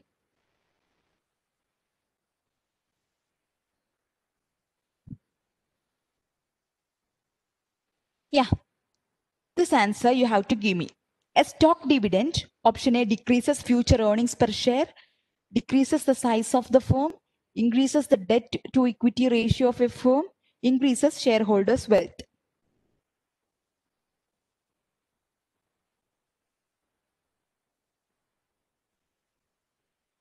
What happened when the, what happened as a result of a stock dividend?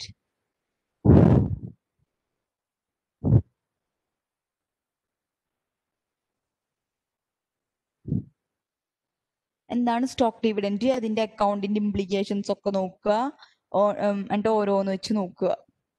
Main ആയിട്ട് earnings per share പറയുന്നുണ്ട് size പറയുന്നുണ്ട് debt equity ratio പറയുന്നുണ്ട് share holders wealth പറയുന്നുണ്ട്. ഇതുമ്പോഴൊക്കെ stock ഡിവിഡന്റിന്റെ എന്താണ് effect എന്ന് നോക്കുക. Increase ആണോ ഡിക്രീസ് ആണോ എന്ന് മാത്രം നോക്കിയാൽ മതി.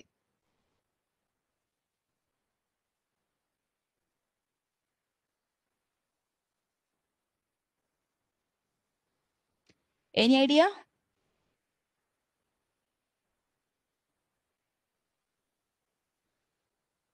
One minute is more than enough.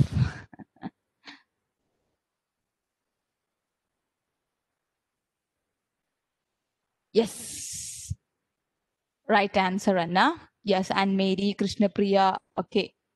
എല്ലാവരും തന്നിട്ടുണ്ട് and okay right answer decrease future result of stock dividend divide stock ആയിട്ട് ഇഷ്യൂ ചെയ്യുമ്പോൾ outstanding number of shares increases Outstanding number of shares increase ആകുമ്പോൾ നമ്മുടെ ഏർണിംഗ്സ് പെർ ഷെയർ എന്തായിരിക്കും effect ചെയ്യുന്നുണ്ടാവുക? Earnings per share is equal to income available to common shareholders divided by outstanding shares outstanding shares കൂടുമ്പോൾ നമ്മുടെ earnings കുറയും. Earnings per share കുറയും. Decreases the size of the firm size of the firm കൂടല്ലേ number of shares കൂടും. അതേ into par value വെച്ച് ചെയ്യുമ്പോൾ തന്നെ എന്റിറ്റിയുടെ സൈസ് കൂടും. Increases the debt to equity ratio of a firm debt to equity ratio increase ചെയ്യല്ല കുറയാ ചെയ്യുന്നുണ്ടാവുക. കാരണം ഇക്വിറ്റി കൂടും. ഇക്വിറ്റി കൂടുമ്പോൾ debt affect ചെയ്യാതിരിക്കും. So debt equity ratio is equal to debt divide by equity the equity is increasing equity increase എന്ന് വെച്ചിട്ടുണ്ടെങ്കിൽ അല്ലെങ്കിൽ ഇക്വിറ്റിനെ അഫക്ട് ചെയ്യില്ല. Stock dividend total equity എടുക്കാന്നുണ്ടെങ്കിൽ equity will not get affected sorry debt equity ratio increase ചെയ്യല്ല. It will remain constant because as a result of the stock dividend, total equity remains unchange so debt equity ratio remains unchanged. Increases shareholders' wealth. Shareholders wealth increase ചെയ്യുന്നു shareholders wealth എന്താ? നമ്മുടെ total equity total shareholders equity അല്ലെങ്കിൽ total equity ആണ് share holders wealth അതിലൊന്നും affect ചെയ്യുന്നില്ല. It is remains unchange so it is not increasing the shareholders wealth so the right option is option A decreases future earnings per share clear ആയി? Can I move forward to the next question? So ഈ session കഴിഞ്ഞിട്ടുണ്ടെങ്കിൽ ഞാൻ break തരാം കേട്ടോ എന്നിട്ട് next നമ്മുടെ revenue റെക്കഗ്നീഷനിലോട്ട് പോകാം ഡോണ്ട് വറി വാ ഇത് ഞാൻ പറയേണ്ട ആവശ്യമില്ല you can give me the answer The board of directors of Mercom Corporation met on May 5, 2015 and declared a 10% stock dividend. The dividend was distributed on May 28, 2015 to shareholders of record as of May 15, 2015. As a result of this declaration and distribution, Mercom's current liabilities would have been decreased by the dividend declaration and increased by the dividend distribution, unch- unchanged by either the dividend declaration or the dividend distribution, unchanged by the dividend declaration and increased by the dividend declaration, dividend distribution, unchanged by the dividend declaration and decreased by the dividend distribution. ഏത് dividend ആണ് നോക്കിയേ stock dividend ആണ് എന്തായിരിക്കും answer? Stock dividend ആണ്. Stock ഡിവിഡൻഡിന്റെ ഡിക്ലറേഷന്റെ എൻട്രിയും പേയ്മെന്റിന്റെ എൻട്രിയും നോക്കുക. അല്ലെങ്കിൽ ഡിസ്ട്രിബ്യൂഷന്റെ സമയത്ത് എൻട്രി നോക്കുക. എന്തെങ്കിലും ഒരെണ്ണം current asset and current liability current ലൈബിലിറ്റിയുമായി ബന്ധപ്പെടുന്നുണ്ടോ? At the time of declaration of the stock dividend, the entry that you should record is retained earnings account debit to common shares distributable as dividend. This common shares distributable as dividend is not a liability. It is an account which is shown in the equity section itself. Equity sectionൽ തന്നെയുള്ള ഒരു account ആണ് so current ലയബിലിറ്റിനെ എന്തെങ്കിലും രൂപത്തിൽ effect ചെയ്യുന്നുണ്ടോ No, yes, unchanged by either the dividend declaration or the dividend distribution cash dividend ആണെങ്കിൽ നമുക്ക് പറയാം. Cash dividend ആണെങ്കിൽ increased by dividend declaration decreased by dividend paid paid എന്ന് പറഞ്ഞിട്ട് വരാം. പക്ഷെ it is a stock dividend current അസറ്റും current ലയബിലിറ്റിയും മറ്റു കാര്യങ്ങളൊന്നും അഫക്ട് ചെയ്യുന്നില്ല. ഇക്വിറ്റി സെക്ഷനിൽ തന്നെയുള്ള ഒരു അഡ്ജസ്റ്റ്മെന്റ് ആണ്.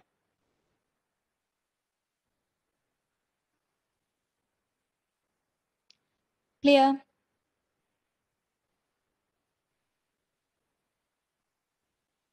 Okay, next question. നമ്മൾ നമ്മുടെ ടെക്സ്റ്റ് ബുക്കിൽ ചെയ്ത ക്വസ്റ്റ്യൻ ആണ്.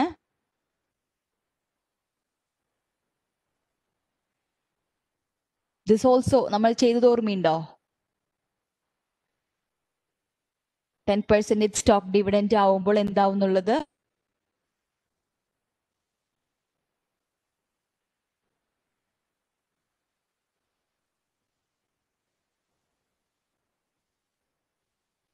Orbindo. Do you remember? Yes. Yes. This question. A company declares and pays both a 200,000 cash dividend and a 10% stock dividend. The effect of the dash dividend is to dash. A company declares and pays both the 200,000 cash dividend and 10% stock dividend. Cash ഡിവിഡന്റും pay ചെയ്യുന്നുണ്ട്. Stock ഡിവിഡന്റും pay ചെയ്യുന്നുണ്ട്. The effect of the dash dividend cash dividend അല്ലെങ്കിൽ stock dividend ആയിരിക്കാം is to dash retained ഏർണിംഗ്സിനും ഇക്വിറ്റിയുടെയും effect ആണ്. So ഓരോ ഓപ്ഷനും നമ്മൾ പ്ലേസ് ചെയ്ത് നോക്കാം ആദ്യത്തെ ഓപ്ഷൻ പ്ലേസ് ചെയ്ത് നോക്കാം the effect of the stock dividend is to decrease retained earnings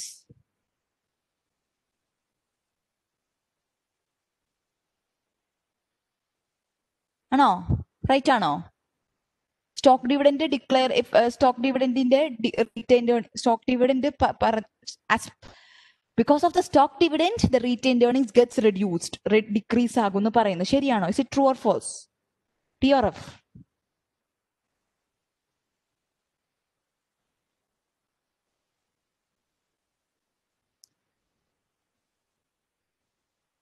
ആരാ ഫോൾസ് പറഞ്ഞേ? ആരാ ഫോൾസ് പറഞ്ഞേ?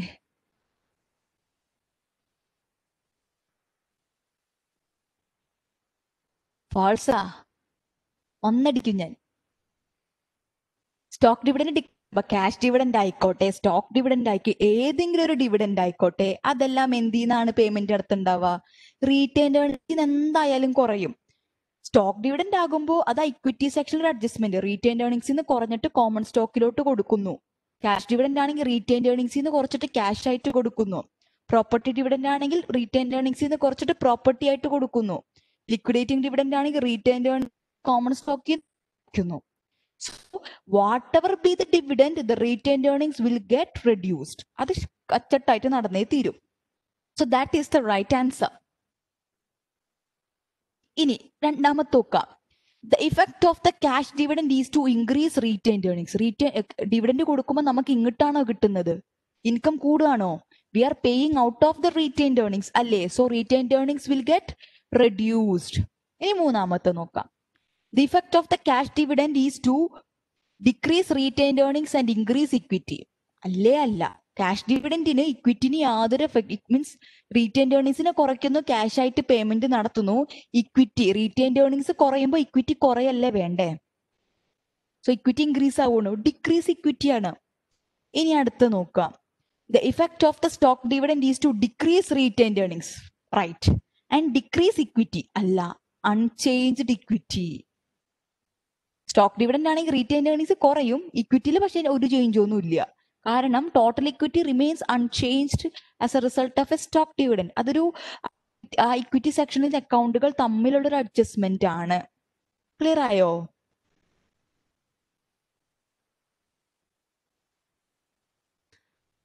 ഓക്കേ ഞാൻ അടുത്ത ക്വസ്റ്റ്യനിലോട്ട് പോകാം.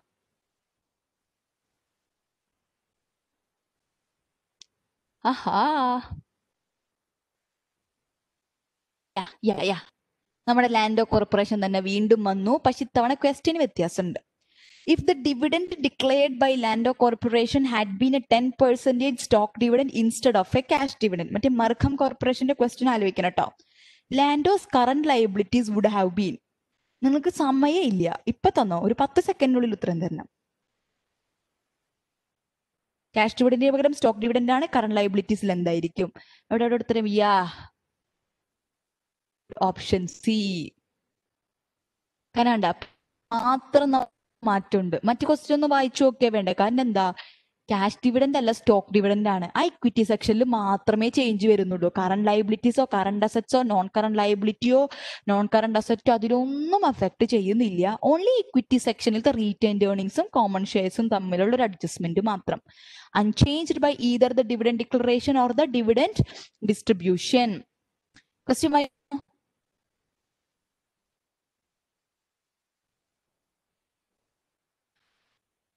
ആ ഒരു എക്സ്പ്ലനേഷൻ ഒന്ന് വായിച്ചോ a stock dividend is not recorded as a liability even if the shares are not distributed at the declaration date All of the journal entries to record the declaration and distribution of a stock dividend are made within the equity section.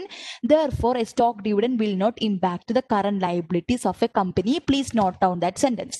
ആ sentence ഒന്ന് note down ചെയ്തേ A stock recorded as a liability even if the shares are not distributed at the declaration date. All of the journal entries to record the declaration and distribution of a stock dividend are made within the equity section. Therefore, a stock dividend will not impact the current liabilities of the company. Please note down that sentence. ആ sentence ഒന്ന് note down ചെയ്തേ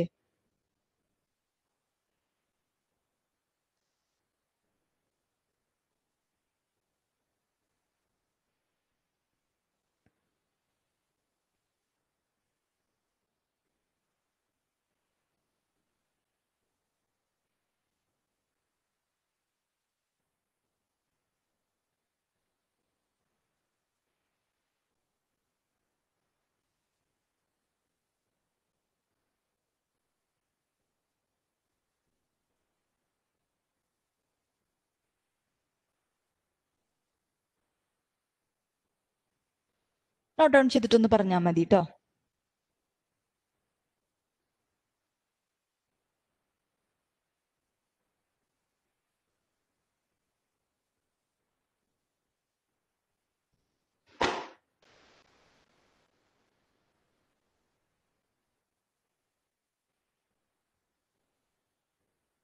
Noted. Okay. Next question, our final question.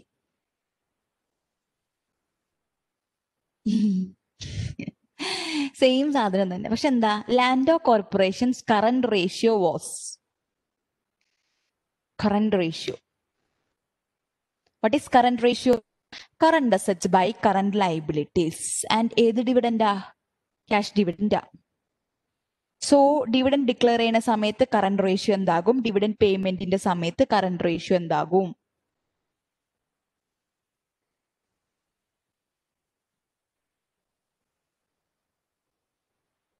Okay നിങ്ങളൊന്ന് ശ്രമിച്ചു നോക്ക്. എന്നിട്ട് ഞാൻ ഒരു simple trick പറഞ്ഞുതരാം. ഡിക്ലറേഷന്റെ സമയത്ത് കുറച്ചും കൂടി എളുപ്പമാണ് ഉടനെ തന്നെ മീൻസ് വേണ്ട. പേയ്മെന്റിന്റെ സമയത്ത് ആകുമ്പോഴാണ് നമുക്ക് കുറച്ചും കൂടി ഒന്ന് കമ്പ്യൂട്ട് ചെയ്ത് നോക്കേണ്ടി വരുന്നുണ്ടാവുക. So try figuring out it yourself and after that I will explain to you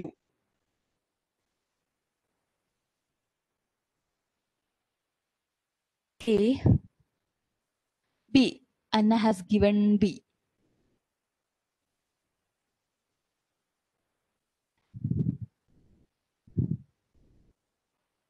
Okay.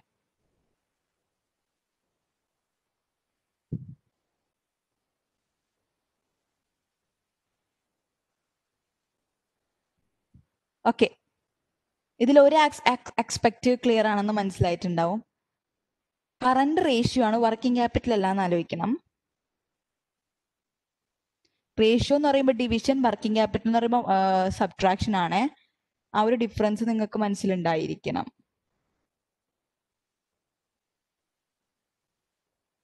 the payment of dividend increased the current ratio.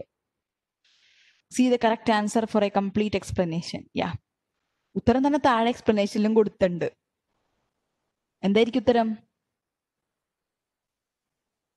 A എന്നാ ശരി. എങ്ങനെ ഇൻക്രീസ് ആയി? അത് നമുക്ക് കമ്പ്യൂട്ട് ചെയ്ത് നോക്കണം. സോ നമുക്കറിയാം ഒരു എളുപ്പവഴി എന്ന് പറഞ്ഞിട്ടുണ്ടെങ്കിൽ okay dividend seven fifty thousand ആണല്ലോ. ഇങ്ങനെ കമ്പ്യൂട്ട് ചെയ്ത് നോക്കാതെ നമുക്ക് ചെയ്യാം. പക്ഷെ കമ്പ്യൂട്ട് ചെയ്ത് നോക്കുകയാണെങ്കിൽ കറണ്ട് റേഷ്യോ എന്തായിരിക്കും? Current asset divided by current liability so current liability when the dividend is declared current liability increase ചെയ്യുന്നു. So current liability increase ആവുകയാണെന്നുണ്ടെങ്കിൽ denominator denominator is increasing so current ratio will decrease അതെങ്ങനെയാ നമുക്ക് ഇവിടെ ചെയ്തു നോക്കാലോ? ഇപ്പൊ എത്രയുണ്ട്? Current asset എത്രയാണ്? Five four three one thousand divided by current liability one seven eight nine ആണ് കേട്ടോ ആദ്യം. So five four three one thousand divided by one seven eight nine thousand current ratio ആദ്യം ത്രീ പോയിന്റ് സീറോ ത്രീ എന്ന് പറയുമ്പോൾ zero three five zero four എടുക്കുക dividend declare ചെയ്തത് കൊണ്ട് current ratio എന്തായിട്ട് മാറി? Five four three one thousand divided by one seven eight nine thousand plus ഈ ലയബിലിറ്റിയും കൂടെ വന്നു. Dividend payable seven fifty thousand so two five three nine thousand എത്രയായി? 5431,000 divided by 2539,000 will be 2.14 ആയി. സോ ഒബിയസ്ലി കുറഞ്ഞു. ഇനി കറണ്ട് റേഷ്യോ പേയ്മെന്റിന്റെ സമയത്താണെങ്കിൽ എന്തായിരിക്കും? ഫൈവ് ഫോർ ത്രീ വൺ തൗസൻഡിൽ നിന്ന് ക്യാഷ് ആയിട്ട് പോയി. സെവൻ ഫിഫ്റ്റി തൗസൻഡ് കുറഞ്ഞു. Four six eight one thousand divided by two five three nine thousand ആയിരുന്നു. അപ്പൊ വീണ്ടും ആ ലയബിലിറ്റി ഡിക്രീസ് ആയപ്പോൾ സെവൻ ഫിഫ്റ്റി തൗസൻഡ് ആയി. One seven eight nine thousand ആയി. സോ എന്തായിരിക്കും? Four six eight one thousand divided by one seven eight nine thousand two point six one six അപ്പൊ six two so two point one four ആദ്യം three point zero four പിന്നെ അത് increase ആയി. So decreased as a result of declaration and increased as a result of payment ഇനി ഇത് നമ്മൾക്ക് ഇല്ലാതെ തന്നെ കമ്പ്യൂട്ട് ചെയ്യാം. കാരണം നമുക്കറിയാം ഡിനോം ഇതിൽ തന്നെ ഡിനോമിനേറ്റർ ഡിക്രീസ് ചെയ്യുമ്പോൾ ന്യൂമറേറ്റർ ഇൻക്രീസ് ആകും. അല്ലെങ്കിൽ numerator increase sorry denominator decrease increase നമ്മളിപ്പോ ഒരു ഒരു ഭാഗത്ത് മാത്രം ചേഞ്ച് ഉള്ളതായിരിക്കും either in the denominator or either in the numerator നമ്മുടെ കോഷ്യന്റിൽ എന്തായിരിക്കും? ഇഫ് ദ ന്യൂമറേറ്റർ ഇൻക്രീസസ് ഒരെണ്ണത്തിൽ മാത്രം കേട്ടോ ന്യൂമറേറ്ററിലാണെങ്കിൽ ന്യൂമറേറ്ററിൽ മാത്രം ചേഞ്ച് വരും. ഡിനോമിനേറ്ററിലാണെങ്കിൽ ഡിനോമിനേറ്ററിൽ മാത്രം ചേഞ്ച് വരുന്ന സിറ്റുവേഷനിൽ if the numerator increases quotient answer increases if the denominate numerator decreases decreases decreases if the denominator increases quotient decreases. If the denominator increases quotient decreases. അങ്ങനെ റിലേഷൻഷിപ്പ് ഇനി രണ്ട് ഭാഗത്തും ചേഞ്ച് വരികയെന്ന് കരുതുക. രണ്ട് ഭാഗത്തും ചേഞ്ച് വരികയാണെന്നുണ്ടെങ്കിൽ numerator and denominator by the same amount change വരികയാണെന്നുണ്ടെങ്കിൽ എങ്ങനെയായിരിക്കും നമ്മുടെ effect numerator and denominator either increase or either decrease by the same amount ആണെന്നുണ്ടെങ്കിൽ എന്തായിരിക്കും നോക്കുക. If the current ratio is greater than one greater than one ആണെങ്കിൽ reverse effect increases current ratio decreases. If current ratio is less than 1 less than 1 ആണെങ്കിൽ direct എഫക്റ്റും greater than one ആണെങ്കിൽ opposite effect ആയിരിക്കും. So ഇവിടെ നമ്മുടെ ഇപ്പോഴത്തെ current ratio greater than one ആണ്. അത് നമ്മൾ കണ്ടപ്പോൾ തന്നെ മനസ്സിലാക്കി കമ്പ്യൂട്ട് ചെയ്യേണ്ട ആവശ്യമില്ല. കറണ്ട് അസറ്റ്സ് കൂടുതലാണ് കറണ്ട് ലൈബിലിറ്റീസ് കുറവാണ്. സോ കറണ്ട് റേഷ്യോ എന്തായാലും വണ്ണിൽ കൂടുതലായിരിക്കും എന്ന് ഉറപ്പാണ്. സോ വണ്ണിൽ കൂടുതലാണെങ്കിൽ ഓപ്പോസിറ്റ് എഫക്റ്റ് അല്ലേ? സോ ന്യൂമറേറ്ററും ഡിനോമിനേറ്ററും കൂടുമ്പോൾ കറണ്ട് റേഷ്യോ കുറയും. ന്യൂമറേറ്ററും ഡിനോമിനേറ്ററും കൂടും. സോ ഇവിടെ എന്താ? നമ്മുടെ ഡിവിഡൻ പേയ്മെന്റിന്റെ സമയത്ത് ന്യൂമറേറ്ററും ഡിനോമിനേറ്ററും കുറയാണ് ചെയ്യുന്നത്. അപ്പൊ നമ്മുടെ കറണ്ട് റേഷ്യോ എന്തായിരിക്കും? കറണ്ട് റേഷ്യോ കൂടും. ഇനി ഒന്നിൽ താഴെയാണെന്നുണ്ടെങ്കിൽ ഡയറക്റ്റ് എഫക്റ്റ് ആയിരിക്കും ന്യൂമറേറ്ററും ഡിനോമിനേറ്ററും കുറയുമ്പോൾ കറണ്ട് റേഷ്യോ കുറയും ന്യൂമറേറ്ററും ഡിനോമിനേറ്ററും കൂടുമ്പോൾ കറണ്ട് റേഷ്യോ കൂടും ക്ലിയർ ആയോ either you could find it by computing or this is the rule if the quotient is greater than 1 an increase in the numerator and denominator by the same amount result in a decrease in the quotient and if the if the quotient is greater than 1 a decrease in the numerator and denominator by the same amount will cause the quotient to increase so and in uh, if it is an op- uh, less than 1 it is the direct rule increase ആണെങ്കിൽ increase decrease ആണെങ്കിൽ decrease clear ആണോ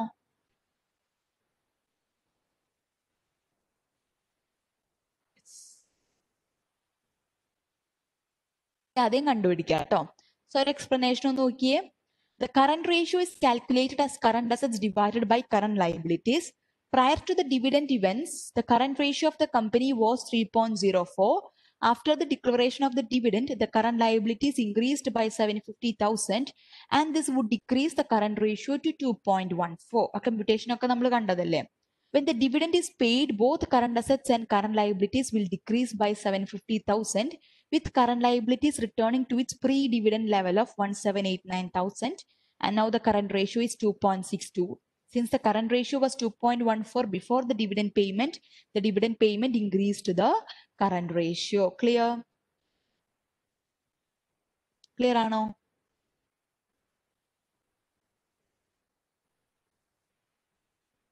okay. So നമ്മുടെ equity സെക്ഷനിലത്തെ questions കഴിഞ്ഞു. Do you have any doubts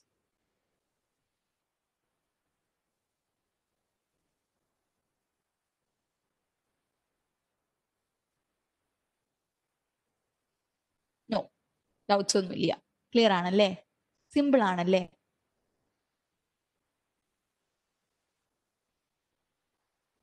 അപ്പോ it's four six so അടുത്ത് നമ്മുടെ revenue recognition and income മെഷർമെന്റിലത്തെ ക്വസ്റ്റ്യൻസ് ആണ് എടുക്കാൻ വേണ്ടിയിട്ടുള്ളത് so before moving with that questions just fresh up and come നമുക്ക് ഫ്രഷ് ആയിട്ട് അത് സ്റ്റാർട്ട് ചെയ്യാം so take a break and come after a break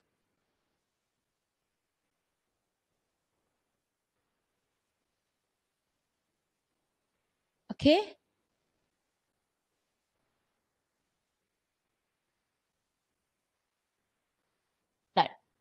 uh, till when is the break 10 minutes break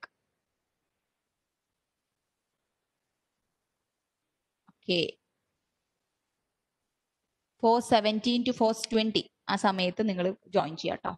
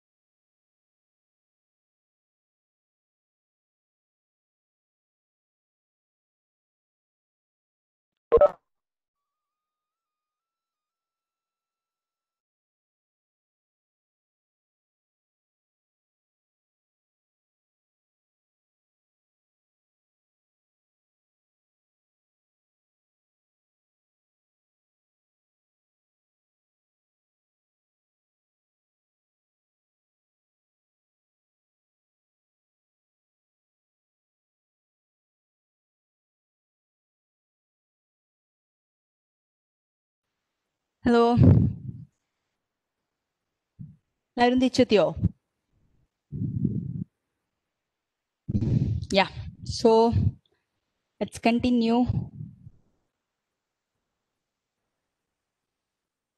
Revenue recognition. 21 questions are there.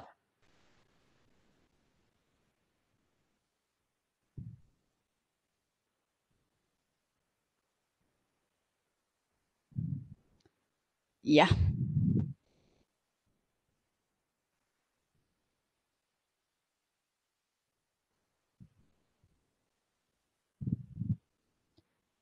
Or just ointment, yeah?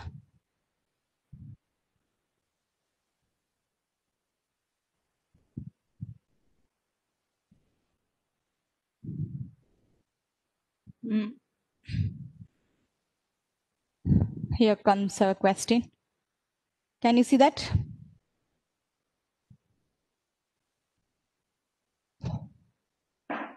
Okay. Yeah. So ഈ revenue റെക്കഗ്നിഷനുമായിട്ട് relate ചെയ്തിട്ടുള്ള standard ആണ് ഈ accounting standard six nought six so you could see under A S C six nought six എന്ന് പറഞ്ഞിട്ട് ഈ performance ഒബ്ലിഗേഷൻസും ആ five steps ഒക്കെ വരുന്നുണ്ടല്ലോ it is as per the standard A S C six nought six so in the coming question you may see under A S C six nought six six nought എന്ന് പറഞ്ഞിട്ടൊക്കെ വരും so it is relating to that five steps of revenue recognition നമ്മൾ പഠിച്ചില്ലേ identify the performance obligation separate ആയിട്ട് performance obligation ചെയ്യുക transaction price identify ചെയ്യുക and allocate the transaction price to this performance obligation and recognise the revenue each and when every performance obligation is satisfied So this is the steps in the revenue recognition അത് deal ചെയ്യുന്നത് A S C six nought സിക്സിലാണ്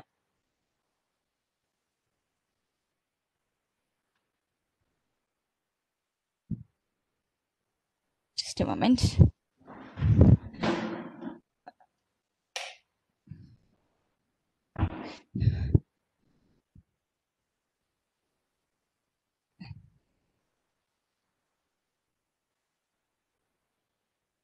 Our question is, under the ASC 606, recognition of revenue does not occur until the entity has signed a binding contract, performance obligation is satisfied, and it is probable that the company will be able to collect substantially all of the consideration that it is entitled to receive for the good or service that will be transferred to the customer. Performance obligation has been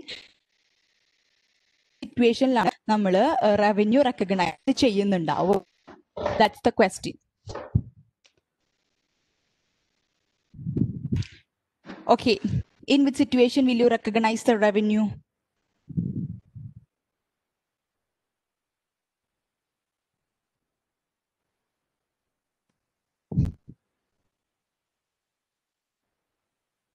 ഏത് സിറ്റുവേഷനിലാണ് നമ്മൾ പഠിച്ചിരിക്കുന്നത് ക്രൈ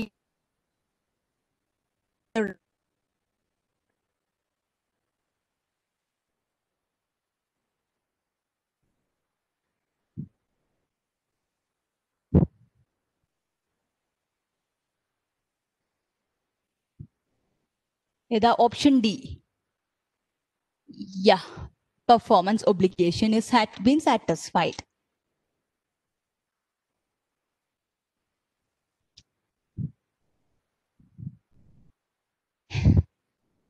Yeah.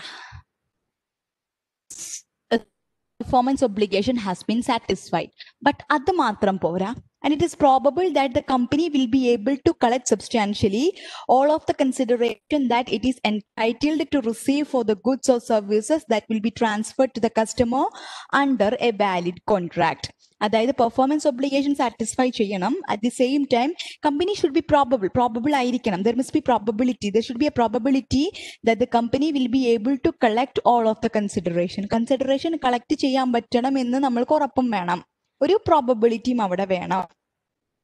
ഒരു valid contract ആ ഒരു കോൺട്രാക്റ്റിൽ നമ്മൾ കസ്റ്റമറിന് പെർഫോമൻസ് ഒബ്ലിഗേഷൻ സാറ്റിസ്ഫൈ ചെയ്തിട്ടുണ്ടെങ്കിൽ കൺസിഡറേഷൻ നമ്മൾക്ക് കിട്ടും എന്നുള്ളൊരു പ്രോബബിലിറ്റി വേണം. Then and performance obligation needs to be satisfied so we will recognise the revenue performance obligation has satisfied base criteria ആണ്. അതിന്റെ കൂടെ ഇത് പറയുന്നതാണ് എന്ത്? അല്ലെങ്കിൽ ഇതൊരു വാല്യൂ പോലെ വരുന്നതാ. ഒബ്വിയസ്ലി അങ്ങനെ ആയിരിക്കുമല്ലോ. നമ്മൾക്ക് തരില്ല എന്ന് ഉറപ്പുള്ള ഒരാൾക്ക് നമ്മൾ ഗുഡ്സ് വിൽക്കില്ലല്ലോ. ഇറ്റ്സ് അതിന് ശേഷമായിരിക്കുമല്ലോ നമ്മൾക്ക്.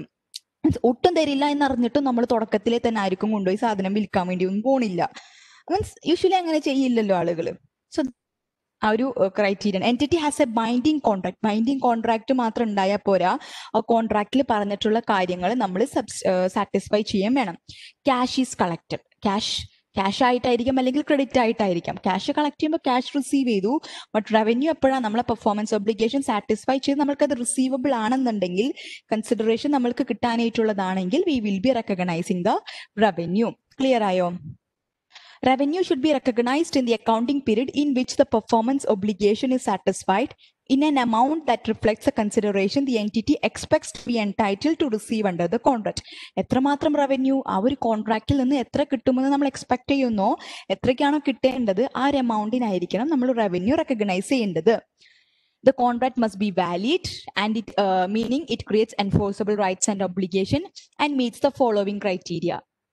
the the parties have approved the contract and are committed to perform their obligations under the contract ആ ഒരു കോൺട്രാക്ട് രണ്ട് പാർട്ടീസും കസ്റ്റമർ ആയിക്കോട്ടെ സെല്ലറും ബയ്യറും അപ്രൂവ് ചെയ്തിട്ടുണ്ട് and they have committed to perform the obligation as per the contract the rights of each party can be identify ആ കോൺട്രാക്റ്റിൽ നിന്ന് what are the rights of the seller what are the rights of the buyer എന്ന് നമുക്ക് clearly identify ചെയ്യാൻ വേണ്ടി പറ്റും The payment terms can be identified എങ്ങനെയാണ് payment cash ആയിട്ടാണോ credit ആയിട്ടാണോ ഇൻസ്റ്റാൾമെന്റ് ആയിട്ടാണോ വേറെ എന്തെങ്കിലും വേയിലൊക്കെ ആണോ എന്നുള്ളത് നമ്മൾ ഐഡന്റിഫൈ ചെയ്യണം. The contract has commercial substance commercial substance ഉള്ള ഒരു കോൺട്രാക്ട് ആയിരിക്കണം. അല്ലെങ്കിൽ വേഗമായിട്ടുള്ള ഒരു കോൺട്രാക്ട് പാടില്ല.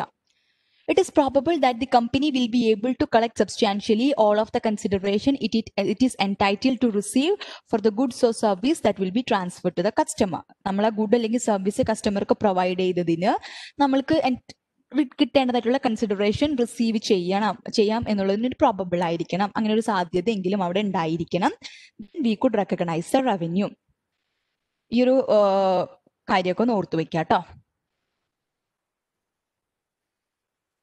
Can I move forward with the next question? Okay. Hmm. Here comes our time. Okay. On September 1, 2014, Beach Construction Company entered into a $10 million contract with City University to build a five-story parking garage on the university's campus. On that date, Beats estimated total cost of constructing the building was 8 million. The estimated completion date for the garage was August 2016. Beats fiscal year ends May 31. Because Beats performance creates an asset that City University controls as the work is being done, Beach accounts for the contract over time. Over time recognition ആണ് Beach uses the cost to cost method to determine the percentage of the performance obligation in the contract that has been satisfied. So, over time ആണെങ്കിൽ ഒരു we will be recognising the revenue and the revenue cost ഒക്കെ ആ ഒരു കോൺട്രാക്ടിന്റെ പീരീഡിൽ തന്നെ ഘട്ടം ഘട്ടമായിട്ട് recognise ചെയ്ത് വരും. In recognising the they are using the cost to cost method means a percentage of completion കോസ്റ്റുമായിട്ട് relate ചെയ്തിട്ടുള്ള പെർസെന്റേജ് ഓഫ് കംപ്ലീഷൻ ആണ് യൂസ് ചെയ്യുന്നത്. data regarding the contract are as follows എന്തൊക്കെയാ ആക്ച്വൽ കോസ്റ്റ് ഇൻകേർഡ് അപ്പോ to ഇയേഴ്സിലുള്ള ഒരു contract ആണ് അല്ലെ so two thousand fifteen two thousand sixteen രണ്ട് വർഷമുണ്ട് അതിന്റെ actual cost today incurred to date estimated cost to complete progress billings to date cash collected to date ഒക്കെ തന്നിട്ടുണ്ട് the gross profit recognised for the fiscal year ended May thirty one two thousand sixteen from this contract would be ഈ ഒരു കോൺട്രാക്റ്റിൽ നിന്ന് രണ്ടായിരത്തി പതിനാറില് നമ്മൾ എത്ര ഗ്രോസ് പ്രോഫിറ്റ് റെക്കഗ്നൈസ് ചെയ്തിട്ടുണ്ടായിരിക്കും so this requires a step by step calculation so remind ഈ point points must be noted down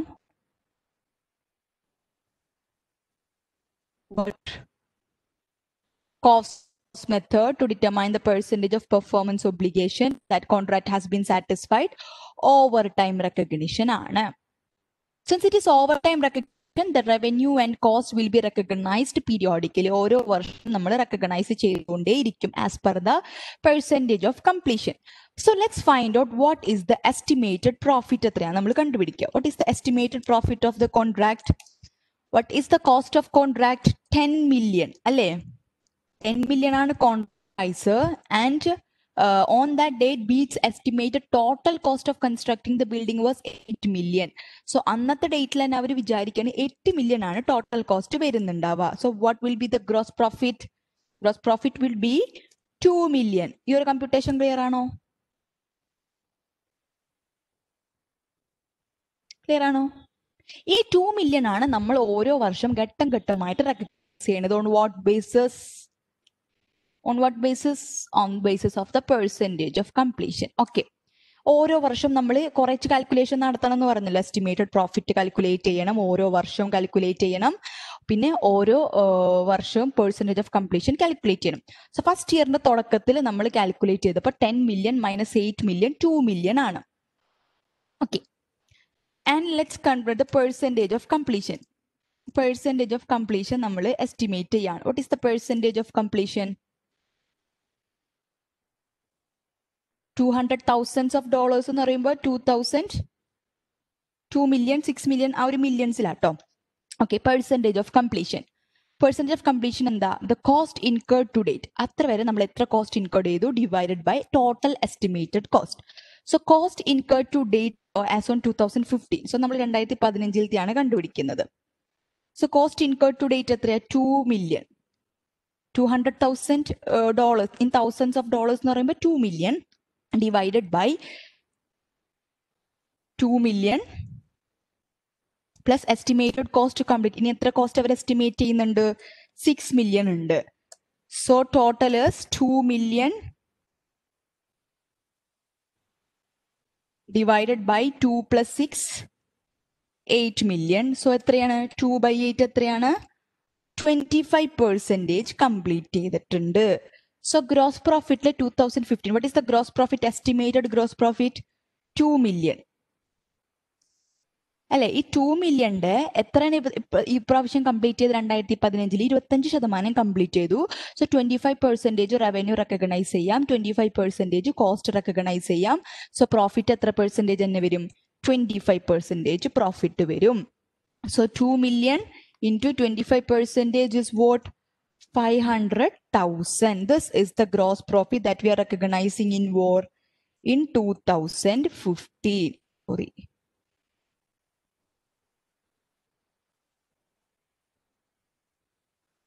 Clear ആയോ ഇതുവരെ ക്ലിയർ ആയോ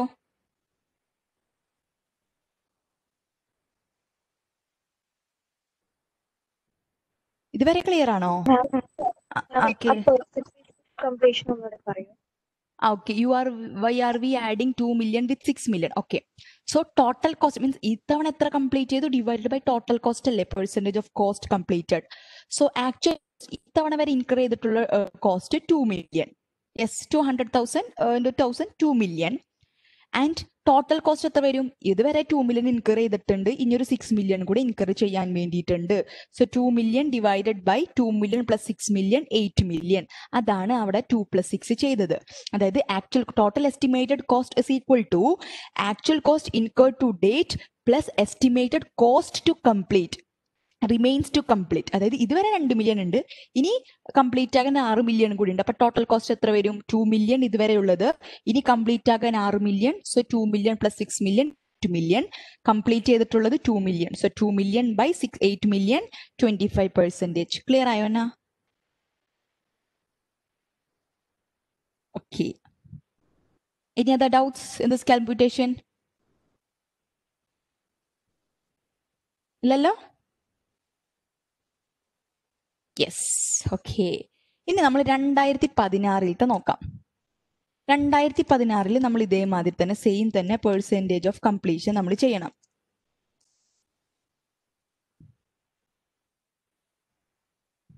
പെർസെന്റേജ് ഓഫ് കംപ്ലീഷൻ നമ്മൾ നോക്കുക. What is the actual cost incurred to date രണ്ടായിരത്തി പതിനാറിൽ എത്രയുണ്ട്? Six million seven fifty thousand divided by six million Seven fifty thousand Just a moment. eh.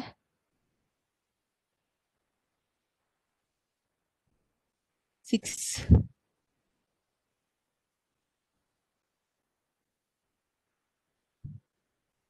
Uh, just a moment. Okay. In 2060, percentage of completion POC ഞാൻ ഇടുക കേട്ടോ seven fifty thousand divided by six million seven fifty thousand plus estimated കോസ്റ്റിന് എത്ര complete ആക്കാൻ വേണ്ടി ഉണ്ട് two million two fifty thousand so എത്ര വരും? Seventy thousand plus two million two fifty thousand nine million so six million seven fifty thousand divided by nine million എത്ര വരും?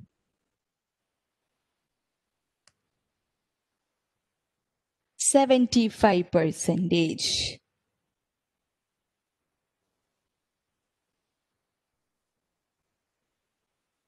അല്ലേ I have to make the estimation regarding to the profit as well so estimated profit വീണ്ടും നമ്മൾ profit estimation നടത്തണം. Profit estimation നടത്തുമ്പോൾ ten million ആയിരുന്നു നമ്മുടെ cost അല്ലേ?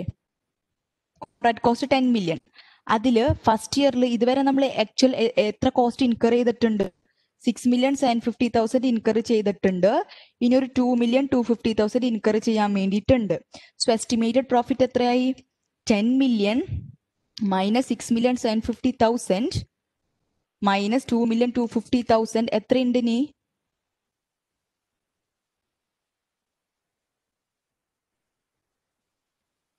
വൺ മില്യൺ ഇനി പ്രോഫിറ്റ് റിമെയിൻസ് ടു ബി ഉണ്ട് അല്ലേ സോ ഈ വൺ മില്യൺ പ്രോഫിറ്റിൽ ഹൗ മച്ച് വി ഹാവ് നമ്മൾ എത്ര? ഫൈവ് ഹൺഡ്രഡ് തൗസൻഡ് റെക്കഗ്നൈസ് ചെയ്തിട്ടുണ്ട് എവിടെ? മുന്നത്തെ വർഷം. സോ ടോട്ടലി ഇതുവരെ നമ്മൾ റെക്കഗ്നൈസ് ചെയ്യേണ്ട പ്രോഫിറ്റ് എത്രയാ? So profit to be recognise അല്ലെങ്കിൽ profit profit in twenty sixty എത്രയാ? നമ്മൾ എസ്റ്റിമേറ്റ് ചെയ്തപ്പോൾ വൺ മില്യൺ ഉണ്ട്.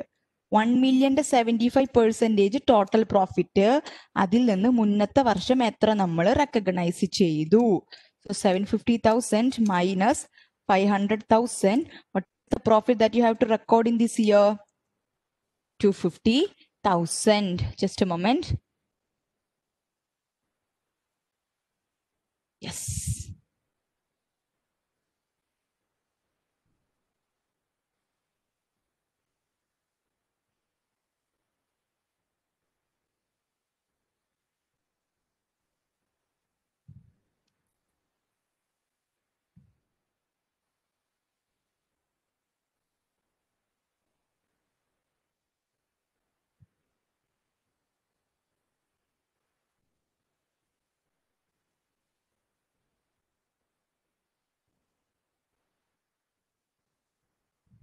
clear ആയോ? So every year you have to make to calculation one is the you have to make profit estimate and you have to compute for percentage of completion അപ്പോൾ ഓരോ വർഷത്തിന്റെ തുടക്കത്തിൽ നമ്മൾ ഇങ്ങനെ ചെയ്യുമ്പോൾ ആദ്യത്തെ വർഷം നമ്മൾ ആദ്യത്തെ വർഷം നമ്മൾ എസ്റ്റിമേറ്റഡ് പ്രോഫിറ്റ് ചെയ്തപ്പോൾ ten million actual cost two million plus estimated cost to complete six million so total cost eight million ten million minus eight million two million okay percentage of completion compute ചെയ്യാം. So actual cost incur to date two million divided by total estimated cost എത്രയാ? Two million ഇതുവരെ complete ചെയ്തു.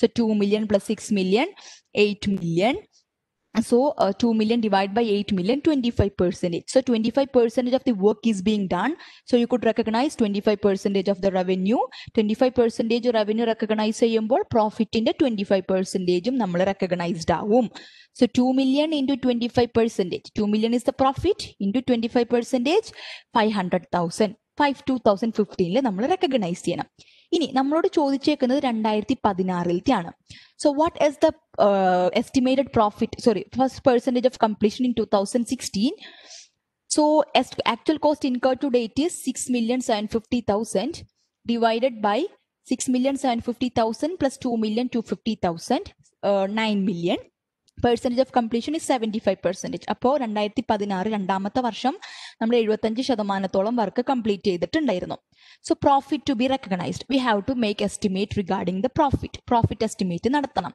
so ten million is the contract price minus six million seven fifty thousand total estimated cost നമ്മൾ complete deduct ചെയ്യുക so we will get the profit six million seven fifty thousand minus two million two fifty thousand എത്ര വരും one million ആണ് നമ്മുടെ profit one മില്യണിന്റെ seventy five percentage വരെ work complete ചെയ്തിട്ടുണ്ട്. So total profit that we recognisers one million into seventy five thousand seven fifty thousand total ഇത്ര വരെ നമുക്ക് സെവൻ ഫിഫ്റ്റി തൗസൻഡ് പ്രോഫിറ്റ് ഉണ്ടായിട്ടുണ്ട്. അതിൽ എത്ര പ്രോഫിറ്റ് നമ്മൾ മുന്നത്തെ വർഷം റെക്കഗ്നൈസ് ചെയ്തു? ഫൈവ് ഹൺഡ്രഡ് തൗസൻഡ് ഇനി ഈ വർഷം എത്ര മാത്രം റെക്കഗ്നൈസ് ചെയ്യണം? ടു ഫിഫ്റ്റി തൗസൻഡ് റെക്കഗ്നൈസ് ചെയ്യണം. ഇനി ചെയ്യ ഇനി വേറെ രൂപത്തിൽ ചെയ്യും. സെവന്റി ഫൈവ് പെർസെന്റേജ് വർക്ക് ഇപ്പൊ കംപ്ലീറ്റ് ചെയ്തു. ട്വന്റി ഫൈവ് പെർസെന്റേജ് അവിടെ കംപ്ലീറ്റ് ചെയ്തു. Seventy five minus twenty five fifty percentage എന്നുള്ള രൂപത്തിൽ ചെയ്യരുത് കേട്ടോ ഇറ്റ്സ് എ റോങ് പെർസെന്റേജ് എടുക്കുമ്പോൾ അങ്ങനെ ചെയ്യരുത് കേട്ടോ അങ്ങനെ ഒരു മിസ്റ്റേക്ക് വരുത്താം what is two million two fifty thousand എടാ അതവിടെ നോക്കിയേ. ടു തൗസൻഡ് സിക്സ്റ്റീനിൽ എസ്റ്റിമേറ്റഡ് കോസ്റ്റ് ടു കംപ്ലീറ്റ് എന്ന് പറഞ്ഞു ടു തൗസൻഡ് സിക്സ്റ്റീനിൽ നമ്മൾ വീണ്ടും ഒരു റിവിഷൻ നടത്തിയപ്പോൾ ആക്ച്വൽ കോസ്റ്റ് ടു തൗസൻഡ് രണ്ടായിരത്തി പതിനാറ് എത്തിയപ്പോൾ വർക്ക് രണ്ടായിരത്തി പതിനഞ്ചിലൊക്കെ സ്റ്റാർട്ട് ചെയ്തു അപ്പോ രണ്ടായിരത്തി പതി രണ്ടായിരത്തി പതിനാറ് എത്തിയപ്പോൾ ഇതുവരെ രണ്ടായിരം six million seven fifty thousand cost incur ചെയ്തിട്ടുണ്ട്. ഇനി ആ കോൺട്രാക്ട് കംപ്ലീറ്റ് ചെയ്യാൻ വേണ്ടിയിട്ട് ഒരു two million two fifty thousand cost കൂടെ അവർ എസ്റ്റിമേറ്റ് ചെയ്യുന്നുണ്ട്. സോ ടോട്ടൽ കോസ്റ്റ് എത്രയാണ്?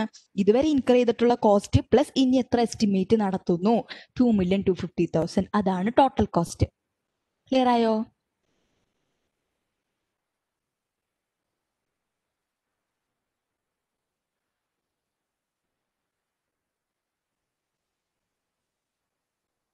ക്ലിയർ ആയോ ഓക്കെ.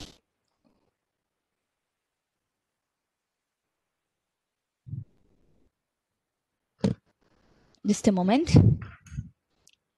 എന്താ? ആണല്ലേ ഓക്കെ നമുക്ക് ആ ഒരു എക്സ്പ്ലനേഷൻ കൂടെ ഒന്ന് നോക്കാം. Okay sorry The amount of gross profit to be recognized for the year ended May 31, 2016 is calculated as follows. Estimated gross profit into percentage satisfied minus gross profit previously recognized. The estimated gross profit is calculated by subtracting from the contract price 10 million, the actual cost incurred to date as of fiscal year 2016, 6,750,000 and estimated cost to complete the project as of that date, 2,250,000. 10 million minus 6 million 750,000 minus 2 million 250,000 1 million. Estimated gross profit 1 million. The calculation of the percentage satisfied is done by dividing the actual cost incurred to date as of May 31 2016 6 million 750,000 by the total estimated cost for the project. 6 million 750,000 divided by 9 million 75 percentage. Thus, at May 31, 2016, the performance obligation in the contract is 75% satisfied. Therefore, Beach should have recognized in total 750,000 in gross profit by May 31, 2016, 75% of 1 million. However, some of that profit recognized in 2015 needs to be subtracted from 750,000 to determine the profit that needs to be recognized at May 31, 2016. The gross profit recognized in 2015 is calculated in the same manner as we calculated it for 2016. By subtracting from the contract price 10 million, the actual cost incurred to date as of May 31, 2015, 2 million, and the estimated cost to complete as of that date 6 million. So 10 million minus 2 million minus 6 million 2 million is the estimated profit. The estimated gross profit is 2 million. The percentage satisfied as of May 31, 2015 was the actual cost incurred to date as of May 31, 2015, 2 million, divided by the total estimated cost for the project as of that date, 2 million plus 6 million, 8 million, which is 25 percentage. So at the end of 2015, the performance obligation in the contract was 25% satisfied. Therefore, B recognized 500,000 of the gross profit by the end of 2015. 25% of 2 million, which is 500,000 as in 2015. Since gross profit to recognize to the date as of May 31, 2016 is 750,000, each had recognized 500,000 of it in 2015 only 250,000 of gross profit to is to be recognized in 2016. Can I move forward with the next question?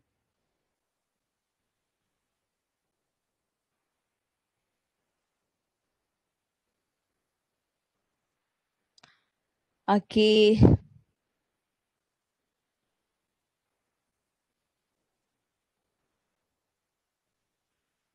Yes, here comes. In accounting for long-term construction contracts, the difference between recognizing the revenue at a point in time versus recognizing the revenue over time is that. Option A, it is only when the revenue is recognized over time, the progress billings are accumulated in a con liability account, billings on construction in process. It is only when revenue is recognized over time that gross profit earned to date is accumulated in the construction in process as contract asset account. When revenue is recognized over time, all revenues and gross profit on the contract are recognized only when the performance obligation in the contract are completely satisfied. It is only when revenue is recognized at a point in time that accumulated construction costs are included in contract asset account. Long-term construction contracts, we have learned about two ways, at point in time and so we have to find the difference between recognizing the revenue in a point in time contract and overtime contract. Difference എന്താന്നുള്ളത് point in time after it is completed, overtime means till in the process of completion. So ഇനി പറയൂ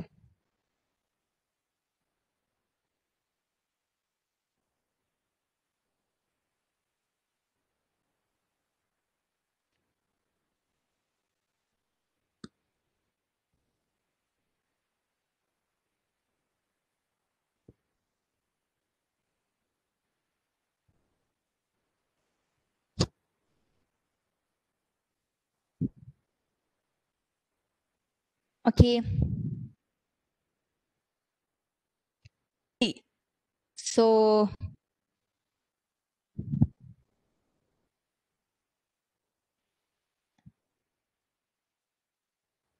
construction in process contracts ഉം billings on construction in process contract means C I P and B C P രണ്ട് account ഉണ്ടല്ലോ construction in പ്രോസസ്സും Billings on construction പ്രോസസ്സും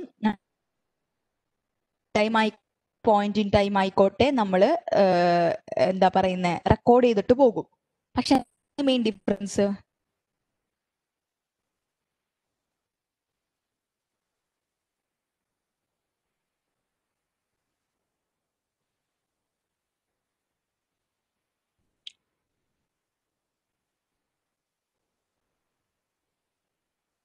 okay അടുത്ത point ഏതാ? Accumulated construction cost ഒക്കെ നമ്മൾ രണ്ട് ഇതിലായാലും കൺസ്ട്രക്ഷൻ ഇൻ പ്രോസസ് എന്ന് പറഞ്ഞിട്ടുള്ള ഒരു കോൺട്രാക്ട് അസറ്റ് അക്കൗണ്ട് ഉണ്ടല്ലോ അതിലോട്ടല്ലേ നമ്മൾ പോകുന്നുണ്ടാവുക construction in process account to cash accounts payable inventory ഏത് മെത്തേഡ് ആണോ ആ എൻട്രി ഓർമ്മയുണ്ടോ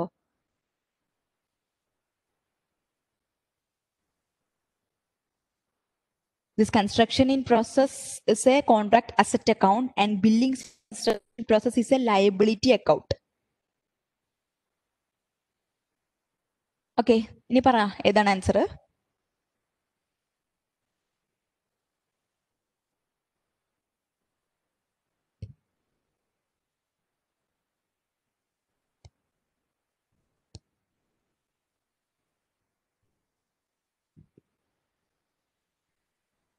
ബിയോ റൈറ്റ് ആൻസർ ഓപ്ഷൻ എയും ഓപ്ഷൻ ബിയും രണ്ടിലുണ്ട്. കാരണം എന്താ? പ്രോഗ്രസ് ബില്ലിങ്സ് ഒക്കെ നമ്മൾ കോൺട്രാക്ട് ലയബിലിറ്റി അക്കൗണ്ട് ആയ ബില്ലിങ്സ് ഓൺ കൺസ്ട്രക്ഷൻ പ്രോസസ് അക്കൗണ്ടിലോട്ടും കൺസ്ട്രക്ഷൻ കോസ്റ്റുകൾ അല്ലാതെ നമ്മൾ കൺസ്ട്രക്ഷൻ പ്രോസസ് എന്ന് പറഞ്ഞിട്ടുള്ള കോൺട്രാക്ട് അസറ്റ് അക്കൗണ്ടിലോട്ടും ഈ both method point in time ആയിക്കോട്ടെ ഓവർ ടൈം ആയിക്കോട്ടെ രണ്ടിലും നമ്മളത് ഈ രണ്ട് അക്കൗണ്ട് പ്രിപ്പയർ ചെയ്യും. What is the main difference is in the recognition of over time ആണെങ്കിൽ റവന്യൂവും ഗ്രോസ് പ്രോഫിറ്റും നമ്മൾ പെർഫോമൻസ് ഒബ്ലിഗേഷന്റെ പെർസെന്റേജ് ഓഫ് കംപ്ലീഷൻ അനുസരിച്ച് റെക്കഗ്നൈസ് ചെയ്തുകൊണ്ടിരിക്കും. ഓവർ ടൈം ആണെങ്കിൽ ആ റവന്യൂ റെക്കഗ്നേഷൻ എപ്പോൾ മാത്രമേ വരുള്ളൂ? At on when the contract is satisfied see നോക്കിയേ when revenue is recognised over time all revenues and gross profit on the contract are recognised only when the performance obligations in the contract are completely satisfied അല്ല over time ആണെങ്കിൽ in the within the contract period we will be recording it നമ്മൾ പതുക്കെ പതുക്കെ recognise ചെയ്തുകൊണ്ടിരിക്കും.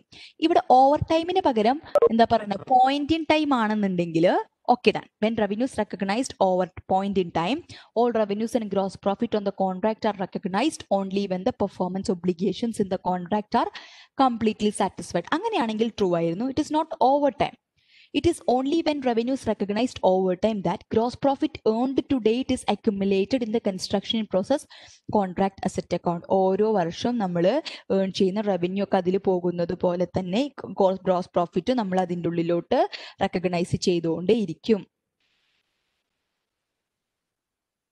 അവസാനം ഈ construction process contract asset account നമ്മൾ cancel out ചെയ്യാണ് ചെയ്യുന്നുണ്ടാവുക.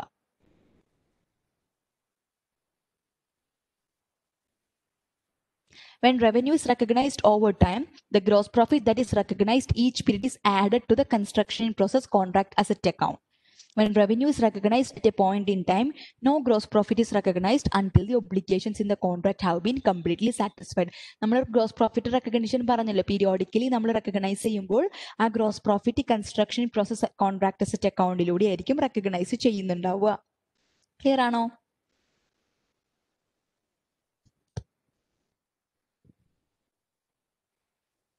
Yes. Next question. So, so, so, so, so, yeah.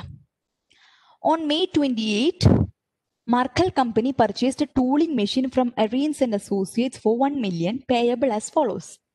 50% of the transaction closing date and 50% due June 28.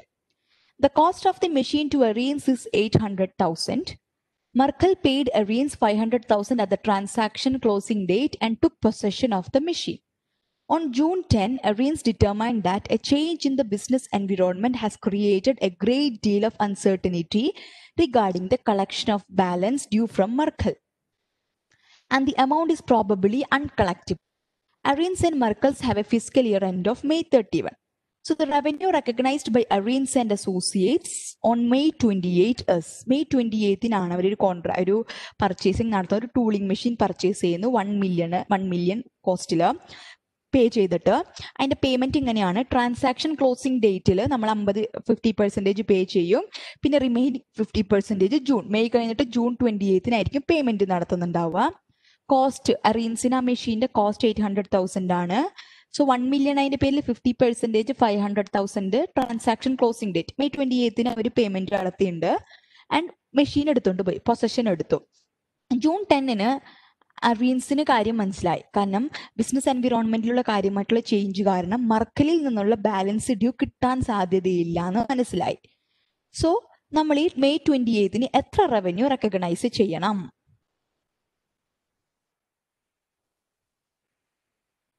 Tricky question. What should be the amount of revenue to recognized in May 28th?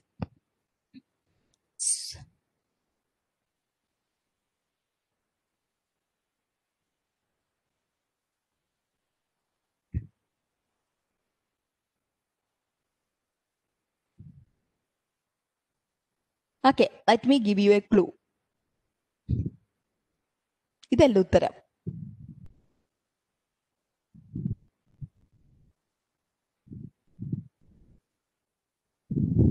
So think what should be the amount of revenue to recognize? Revenue ട്ടാ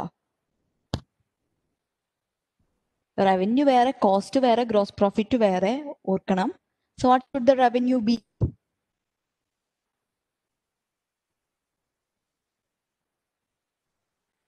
the answer is one million because ഇതൊരു normal സെയിലാണ് May twenty eighth transaction നടത്തി possession എടുത്തു. So the customer has obtained control of the അസറ്റിന്റെ control customer obtain ചെയ്തിട്ടുണ്ട്. നമ്മുടെ entry എന്തായിരിക്കും അറിയോ? At the time of sale accounts receivable normal sale unconditional ആയിട്ടുള്ള ഒരു സെയിൽ അല്ലേ? Accounts receivable account what is it one million debit to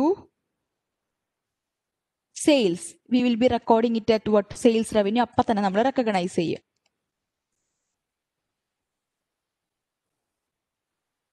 ഇനി June കിട്ടണ സമയത്ത് കിട്ടണ സമയത്ത് എന്താണ്? Cash account debit five hundred thousand to accounts receivable five hundred thousand ഇങ്ങനെ നമ്മൾ എൻട്രി എഴുതും. So it is a normal sale and it is an unconditional sale പ്രത്യേകിച്ച് കണ്ടീഷനൊന്നുമില്ല ഇത് സാറ്റിസ്ഫൈ ചെയ്തിട്ടുണ്ടെങ്കിൽ അത് തരാം. അല്ലെങ്കിൽ ഇതിന്റെ ഒപ്പം ഇതും കൂടെ തരണം. എന്നാൽ മാത്രമേ full performance obligation consider whether the performance obligation is satisfied or not yes tooling machine purchase ചെയ്യാൻ വന്നു. ടൂളിംഗ് മെഷീൻ വിൽക്കുക എന്നുള്ളതാണ് performance obligation yes I have sold the tooling machine customer അതിന്റെ പൊസിഷനും കിട്ടിയിട്ടുണ്ട്. ഇനിയിപ്പോൾ sale transaction is complete So we could recognize the revenue. So 1 million, we should recognize the 1 million revenue. Clear? Clear IO? Yes.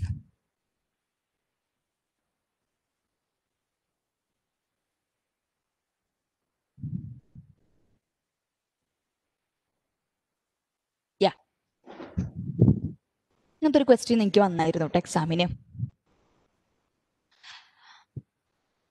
A company provides fertilization, insect control, and disease control services for a variety of trees, plants, and shrubs on a contract basis. For a dollar fifty per month, the company will visit the subscriber's premises and applo- apply appropriate mixtures. If the subscriber has any problems between the regularly scheduled application dates, the company's personnel will promptly make additional service calls to correct the situation. Some subscribers elect to pay for an entire year because the company offers an annual price of $540 if paid in advance. For a subscriber who pays the annual fee in advance, the company should recognize the related revenue at the end of the fiscal year when the cash is collected evenly over the year as the services are performed at the end of the contract year after all of the services have been performed. എന്താ ഇവർ പറഞ്ഞിരിക്കുന്നത് we are having a company that is providing fertilisation insect control disease control services അങ്ങനത്തെ മരുന്നടി പരിപാടികളാണ് trees plant സ്ട്രബ്സ് കസ്റ്റമേഴ്സിന്റെ വീട്ടിൽ അല്ലെങ്കിൽ അവരുടെ പ്രിമിസസിൽ പോയിട്ട് ചെയ്തു കൊടുക്കും. ഫിഫ്റ്റി പെർ മന്ത് ആണെന്നുണ്ടെങ്കിൽ ഒരു വർഷത്തേക്ക് എത്ര വരും? Fifty into twelve six hundred വരും.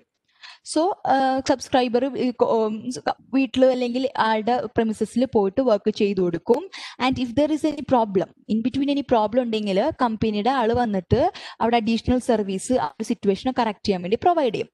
So some of the subscribers to elect to pay for the entire അവർ ഒരു വർഷത്തേക്ക് മൊത്തമായിട്ട് പേയ്മെന്റ് നടത്തും. കാരണം ഒരു വർഷത്തേക്ക് മൊത്തമായിട്ട് തുടക്കത്തിലെ പേയ്മെന്റ് നടത്തുമ്പോൾ ഫൈവ് ഫോർട്ടി അടച്ചാൽ മതി. സോ ഓരോ മാസം കൊടുക്കുകയെന്നുണ്ടെങ്കിൽ ടോട്ടൽ നമ്മൾ സിക്സ് ഹൺഡ്രഡ് ബെയർ ചെയ്യും if you are paying for the entire year in advance six hundred minus six ഹൺഡ്രഡിന് പകരം ഫൈവ് ഫോർട്ടി ഒരു ഫൈവ് ഫോർട്ടി കൊടുത്താൽ മതി. നമുക്ക് ഡിസ്കൗണ്ട് ഒക്കെ ഉണ്ട് so subscriber who pays the annual fee in advance so ഒരു വർഷത്തേക്ക് നടത്തേണ്ട സർവീസസിനാണ് നമ്മൾ തുടക്കത്തിൽ അഡ്വാൻസ് ആയിട്ട് കൊടുക്കുന്നത്. അങ്ങനെയാണെന്നുണ്ടെങ്കിൽ അതിന്റെ റവന്യൂ എങ്ങനെ റെക്കഗ്നൈസ് ചെയ്യണം? ഹൗ ഷുഡ് വി റെക്കഗ്നൈസ് എങ്ങനെയാണ് ഈ സർവീസ് നടത്തുന്നത്? The service is being carry down monthly മന്ത്ലിയാണ് carry down ചെയ്യുന്നത്.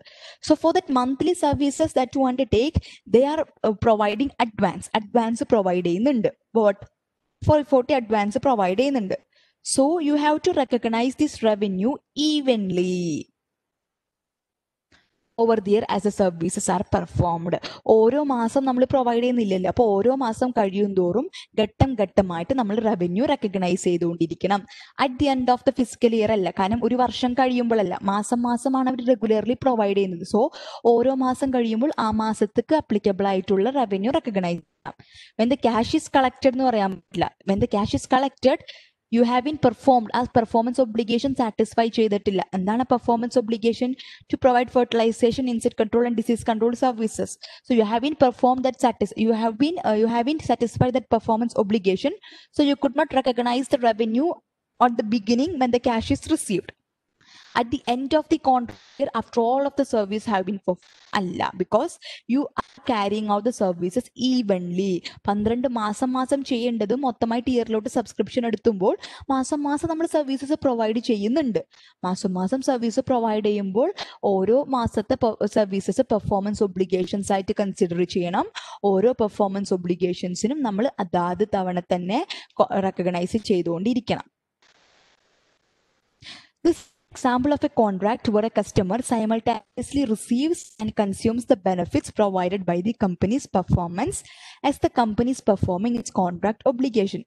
Revenue should be recognise over time കാരണം ഓവർ ടൈം റെക്കഗ്നീഷൻ ആണ് വേണ്ടത് കാരണം എന്താ കൺസ്യൂമർ സൈമൾട്ടാനിയസ്ലി റിസീവ് ചെയ്യുന്നുണ്ട് ബെനിഫിറ്റ് കൺസ്യൂം ചെയ്യുന്നുണ്ട് അല്ലെ മാസം മാസം എല്ലാ വർഷത്തിന് ശേഷം അല്ലല്ലോ ഇങ്ങനെ continue ചെയ്തുകൊണ്ടിരിക്കുന്നുണ്ട് so you have to recognise revenue over time Plerajo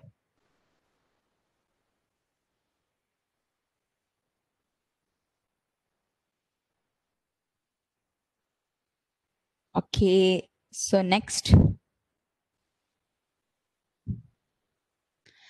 The ABC company operates a catering service that specializes in business luncheons for large corporations. Luncheons means uh, lunch Catering, lunch catering. ABC requires customers to place their orders two weeks in advance of the scheduled events. ABC bills its customers on the 10th day of the month following the date of service and requires that payment be made within days of the billing date. Conceptually, ABC should recognize revenue from its catering services at the ti- date when. എന്നാ കസ്റ്റ് A B C company operates catering service ആണ് കമ്പനീസിലൊക്കെ lunches ഒക്കെ provide ചെയ്യാം.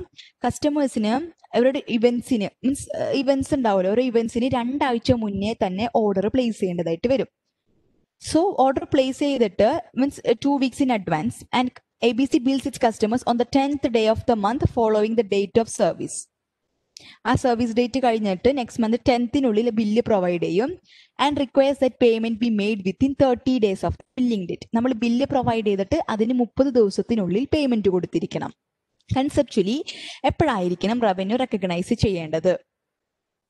Performance obligation എന്താന്ന് നോക്കുക. അത് എപ്പോഴാണ് satisfy ചെയ്യണമെന്ന് നോക്കുക.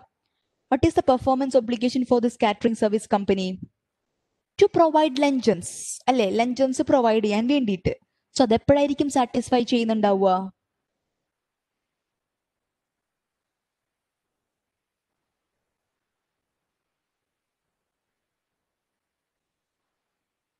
ലഞ്ച് പ്രൊവൈഡ് ചെയ്യുമ്പോൾ. എപ്പോഴായിരിക്കും നമ്മൾ സർവീസ് റെക്കഗ്നൈസ് ചെയ്യുന്നുണ്ട് അവർ റെക്കഗ്നൈസ് ചെയ്യുന്നുണ്ടാവും lunch is served okay yes what is the ഏതാ കോൺട്രാക്ട് ലഞ്ചൻസ് പ്രൊവൈഡ് ചെയ്യുക എന്നുള്ളത് ആ ലഞ്ചൻസ് പ്രൊവൈഡ് ചെയ്യുക means you you provide this luncheons അല്ലെങ്കിൽ ആ ലഞ്ച് ആ ഒരു കാറ്ററിംഗ് നീഡ്സ് ഒക്കെ മീറ്റ് ചെയ്യുമ്പോൾ you have provided them revenue sorry you have satisfied the performance performance obligation once the performance obligation is satisfied, you could recognize the revenue. Revenue should be recognized to depict the transfer of good or service to customer in an amount that reflects the consideration the company expects to be entitled to in exchange for those goods and services. Revenue is recognized when the performance obligation is satisfied. Therefore, the revenue should be recognized when the luncheon is served. അത് serve ചെയ്ത് കഴിയുമ്പോൾ okay performance obligation satisfy ചെയ്തു നമ്മൾക്ക് revenue recognise ചെയ്യാം clear അല്ലേ ഇങ്ങനത്തെ situational questions ഒക്കെ നമുക്ക് എക്സ്പെക്ട് ചെയ്യാം കേട്ടോ കോമൺ ആയിട്ടൊരു സിറ്റുവേഷൻ നമ്മൾ ആലോചിക്കുക. എന്താണ് പെർഫോമൻസ് ഒബ്ലിഗേഷൻ എന്ന് നോക്കുക. പെർഫോമൻസ് ഒബ്ലിഗേഷൻ സാറ്റിസ്ഫൈ ചെയ്തിട്ടുണ്ടെങ്കിൽ റവന്യൂ റെക്കഗ്നൈസ് ചെയ്യാം. That's what is matters Can I move to the next question?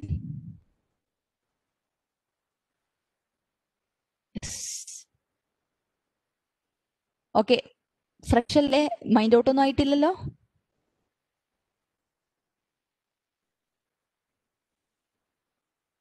ഇല്ല ഓക്കെ ഡൺ ഓക്കെ ഡൺ വാ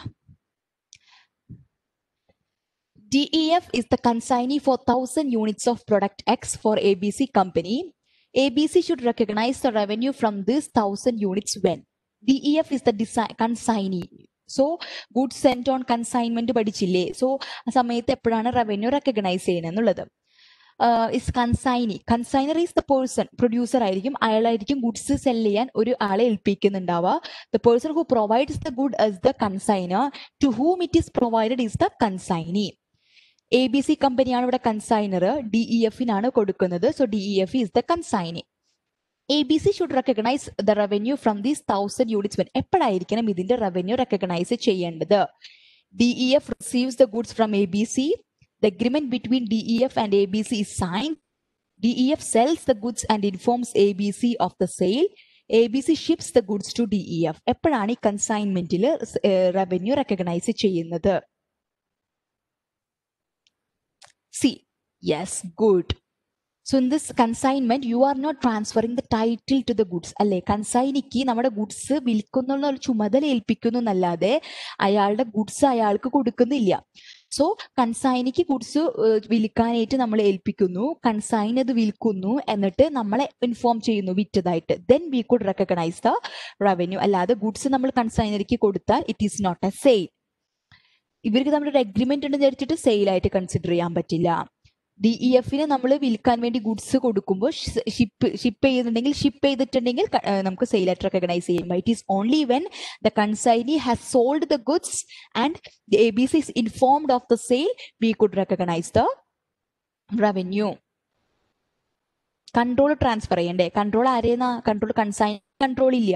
എ ബി സിക്കാണ് കൺട്രോൾ ആ കൺട്രോൾ കൺസൈനി വിൽക്കുമ്പോൾ മാത്രമേ കൺട്രോൾ ട്രാൻസ്ഫർ ആവുന്നുള്ളൂ. അൾട്ടിമേറ്റ് കസ്റ്റമർക്ക് എത്തുന്നുള്ളൂ. സോ അപ്പൊ ആ സമയത്ത് മാത്രമേ നമ്മൾക്ക് റവന്യൂ റെക്കഗ്നൈസ് ചെയ്യാൻ പറ്റുള്ളൂ. ഓക്കെ ക്ലിയർ അല്ലേ? നെക്സ്റ്റ് ക്വസ്റ്റ്യനിലോട്ട് പോവല്ലേ? Done yeah a conditional contract asset is a right to receive consideration because the company has partially satisfied the performance obligations in the contract, but it must satisfy another performance obligation or obligations before it can invoice the customer. B. Revenue recognized where the right of return exists. Option C. A receivable that management believes may be may be uncollectible. Option D, cash consideration received by the seller before any performance obligation in the contract have been satisfied. What is conditional contract asset? Conditional എന്ന് പറയുമ്പോൾ തന്നെയുണ്ട് okay very good Yes a conditional contract asset എന്താ? It's നമുക്ക് receive asset ആണ്. So receivable ആണ്. So ഒരു performance obligation ഉണ്ട് ഒരു കോൺട്രാക്ട് ഉണ്ട്. അതിൽ നിരവധി പെർഫോമൻസ് ഒബ്ലിഗേഷൻ ഉണ്ട്. അതിൽ ചിലത് നമ്മൾ സാറ്റിസ്ഫൈ ചെയ്തിട്ടുണ്ട്. ചിലത് സാറ്റിസ്ഫൈ ചെയ്തിട്ടില്ല. സോ ഫുൾ ആയിട്ട് സാറ്റിസ്ഫൈ ചെയ്യാതെ കസ്റ്റമർക്ക് നമുക്ക് ഇൻവോയ്സ് പ്രൊവൈഡ് ചെയ്യാൻ വേണ്ടി പറ്റില്ല. In such a situation you could recognise it as contract asset A conditional contract asset is a conditional right to receive consideration because the company has satisfied one of or some of the performance obligations in the contract and thus recognizes revenue for the performance obligations that are satisfied. But it must satisfy another performance obligation or obligation before it its consideration should be reported on the back contract asset. Clear? Good and Mary, very good.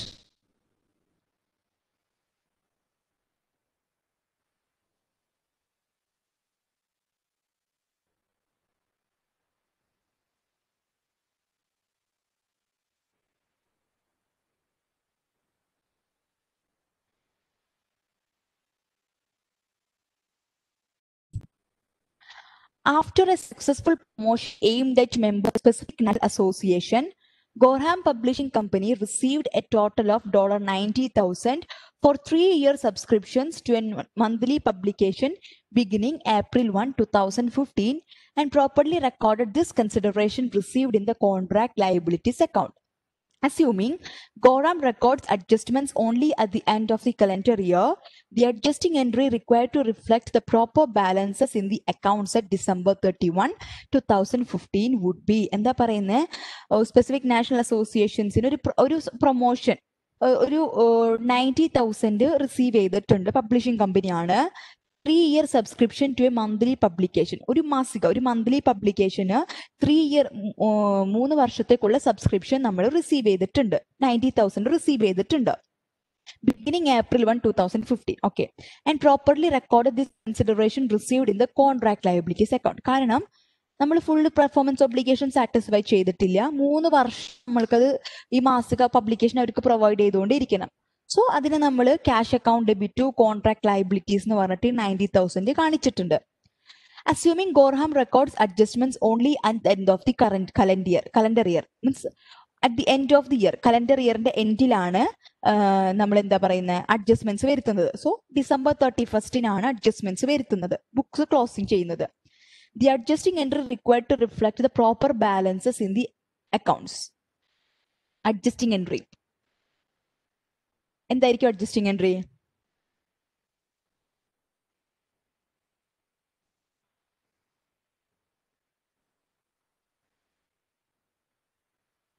Adjusting entry എത്രയായിരിക്കും?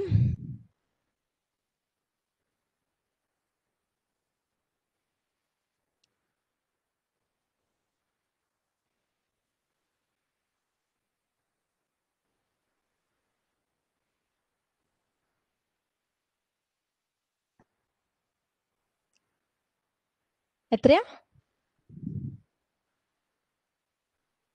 B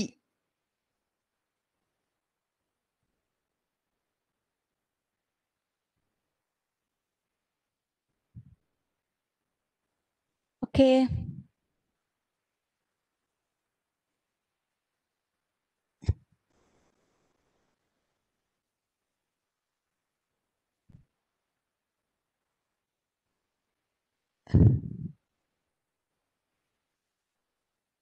yes അപ്പൊ എന്തായിരിക്കും ഉത്തരം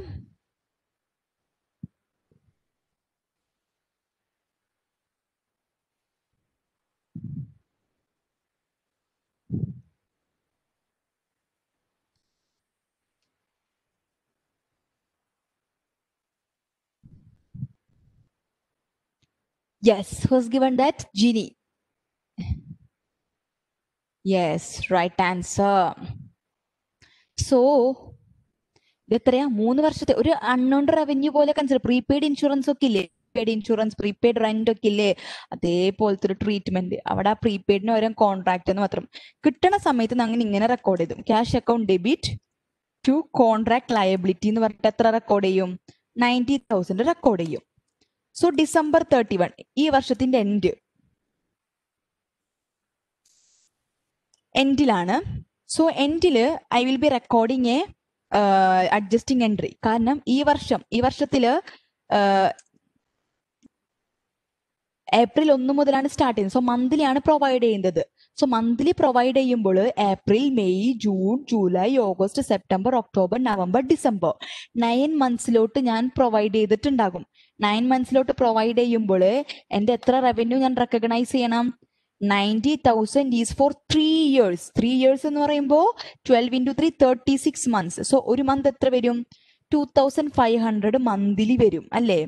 അങ്ങനെയാണെന്നുണ്ടെങ്കിൽ from April one to April to December എത്ര മാസമുണ്ട്? Nine months അത് so four nine months I have provided so nine into two thousand five hundred എത്ര വരും? ട്വന്റി ടു ഫൈവ് ഹൺഡ്രഡ് ഞാൻ റെക്കഗ്നൈസ് ചെയ്യാം so I will be recognising contract liability for what twenty two five hundred two subscription revenue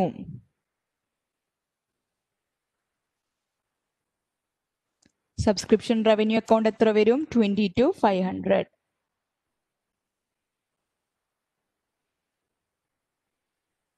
clear ആയോ ഇതിപ്പോ എന്താ? ഞാനിപ്പോ prepaid insurance cash account ഇട്ടിട്ട് prepaid insurance insurance expense account ഇട്ടിട്ട് prepaid insurance എന്നൊക്കെ പറയണ പോലെ തന്നെ ഉണ്ടാവും ഈ അൺഎൺ റവന്യൂ ആണല്ലോ. സോ പ്രീപെയ്ഡ് റെന്റ് ആയിക്കോട്ടെ. അല്ലെങ്കിൽ റെന്റ് വേണ്ട അസറ്റ് അഡ്വാൻസ് റിസീവ്ഡോ അങ്ങനെയൊക്കെ ചെയ്യുമ്പോൾ നമ്മൾ ചെയ്യുന്ന കാര്യം തന്നെയാണ്. യൂഷ്വലി നമ്മൾ ഒരു ഇൻകം സ്റ്റേറ്റ്മെന്റ് അഡ്ജസ്റ്റ് ചെയ്യുന്ന കാര്യങ്ങൾ തന്നെയാണ്. പക്ഷെ ഇതിൽ ചോദിച്ചിരിക്കുന്ന രീതി ഡിഫറെന്റ് ആണ് മാത്രം. Okay.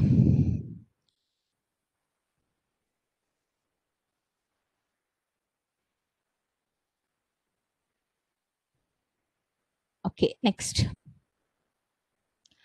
The practice of recording consideration received from a customer before the performance obligation in the contract has been satisfied as a contract liability is an example of applying the going concern assumption, historic cost assumption, revenue recognition principle, monetary unit assumption. Simple ആണ്. The practice of, recording consideration received from a customer before the performance obligation in the contract has been satisfied as a contract liability. Performance obligation satisfy ചെയ്യുന്നതിന് മുമ്പ് കസ്റ്റമറുടെ കയ്യിൽ നിന്ന് നമുക്ക് receive ചെയ്തിട്ടുള്ള കൺസിഡറേഷനെ നമ്മളൊരു contract liability ആയിട്ടാണ് consider ചെയ്യുന്നത് അതേത് പ്രിൻസിപ്പിൾ ഇതിൽ ഏതെണ്ണത്തിന്റെ എക്സാമ്പിൾ ആണ് going concern assumption historic cost revenue recognition principle monetary unit assumption yes revenue recognition principle കാരണം റവന്യൂ എപ്പോൾ മാത്രമേ റെക്കഗ്നൈസ് ചെയ്യാൻ വേണ്ടി പറ്റുള്ളൂ according to ASC 606 revenue recognition when the seller receives consideration from a customer before transferring to the customer control of the goods or services represented by the payment the seller has not yet satisfied the performance obligations in the contract and therefore cannot recognize revenue. Instead the receipt represents the seller's obligation to satisfy the performance obligations in the contract and so is recorded as a contract liability. Clear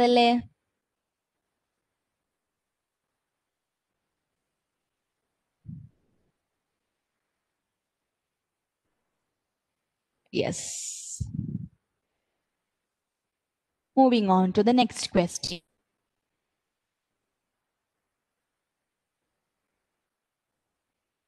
Yes. Here comes. നമ്മുടെ question തന്നെ of September 1, 2014, Beach Construction Company entered into a 10 million contract with the University to build a five-story uh, parking garage. On that date, Beach's estimated total cost of constructing the building was 8 million. The estimated completion date for the garage was August 2016. Beats fiscal year ends May 31. Because Beats performance creates an asset that City University controls as the work is being done, Beach accounts for the contract over time Beach uses the cost to cost method to determine the percentage of the performance obligation in the contract that has been satisfied. Data regarding the contract are as follows. നമ്മുടെ നേരത്തെ data തന്നെ പക്ഷെ question എന്താ The current assets reported on Beach Construction Company May 31, 2016 statement of financial position as a result of this contract would be എത്ര current asset report ചെയ്യണം okay എന്താ പറ്റിയേ sorry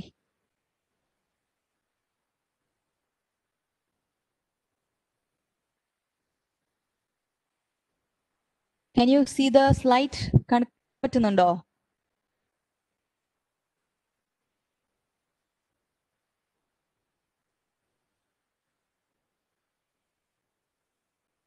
sorry കേട്ടോ എന്റെ അത്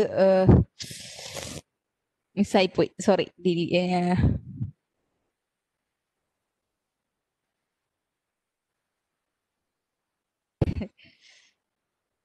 ഓ ക്വസ്റ്റ്യൻ നമുക്ക് തപ്പിയെടുക്കാം sorry yeah Okay, the current asset reported on the Beach Construction Company's May 31, 2016 statement of financial position as a result of this contract would be രണ്ടായിരത്തി പതിനാറില് എത്ര current asset report ചെയ്യണം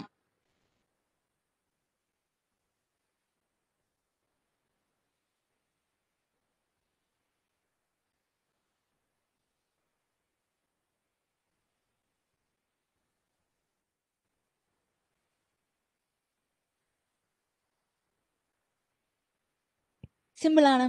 എന്താണ് നമ്മൾ current asset ആയിട്ട് report ചെയ്യുന്നത്? Accounts receivable accounts receivable എപ്പോഴായിരിക്കും വരുന്നുണ്ടാ? When you provide bill invoice ചെയ്യുമ്പോൾ അത് അപ്പോൾ മാത്രം. ഇനി കോൺട്രാക്ട് അസറ്റ് എന്താണ്? The construction in process account ഈ കൺസ്ട്രക്ഷൻ ഇൻ പ്രോസസ് അക്കൗണ്ടിൽ നമ്മൾ എന്താണ് ഇൻക്ലൂഡ് ചെയ്യുന്നുണ്ടാവുക? ദ കോസ്റ്റ് ഇൻകേർഡ് എല്ലാ കോസ്റ്റും നമ്മൾ അവിടെ കാണിക്കും. ഇനി പറഞ്ഞു എന്തായിരിക്കും ഉത്തരം?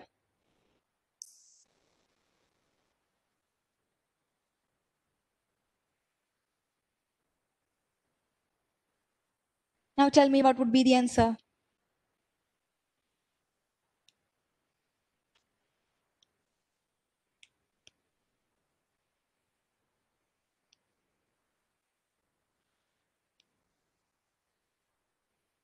Hello, are you listening to me?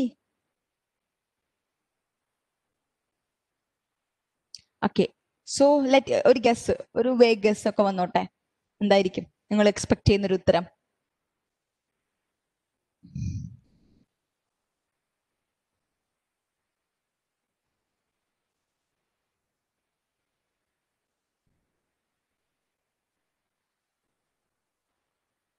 I have told you one thing the contract asset is the construction process account. And accounts receivable എങ്ങനെയാ വരുന്നുണ്ടാവുക? നമ്മൾ കസ്റ്റമർക്ക് ബില്ല് ചെയ്യുമ്പോൾ ബില്ല് കൊടുക്കുമ്പോൾ റവന്യൂ റെക്കഗ്നൈസ് ചെയ്യുന്ന സമയത്തൊക്കെ ആയിരിക്കും നമ്മൾ ഈ accounts receivable വരുന്നുണ്ടാവുക. So when you provide bill to the customer progress billings are provide C Anna has given me option C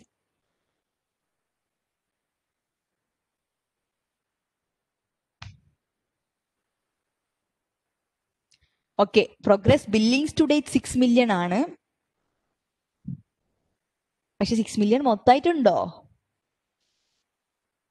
six million നമ്മൾ ഇതുവരെ ഇതുവരെ നമ്മളിൽ സിക്സ് മില്യൺ ബില്ലിങ്സ് ഉണ്ട്. ബില്ലിങ്സിൽ നമ്മൾ ചെറുതൊക്കെ റിസീവ് ചെയ്തിട്ടുണ്ടാവില്ലേ?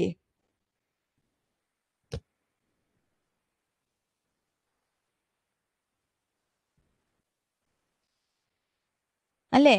ഇതുവരെ progress billing to date six million to date five million five hundred thousand yeah ഞാൻ doubt വേണം. ഈ six million seven fifty thousand എന്നുള്ളതിന്റെ. Okay then get me the answer I know the answer you know is five hundred thousand but the contract asset of one million five hundred thousand അതെങ്ങനെ വന്നു എന്ന് പറയണം.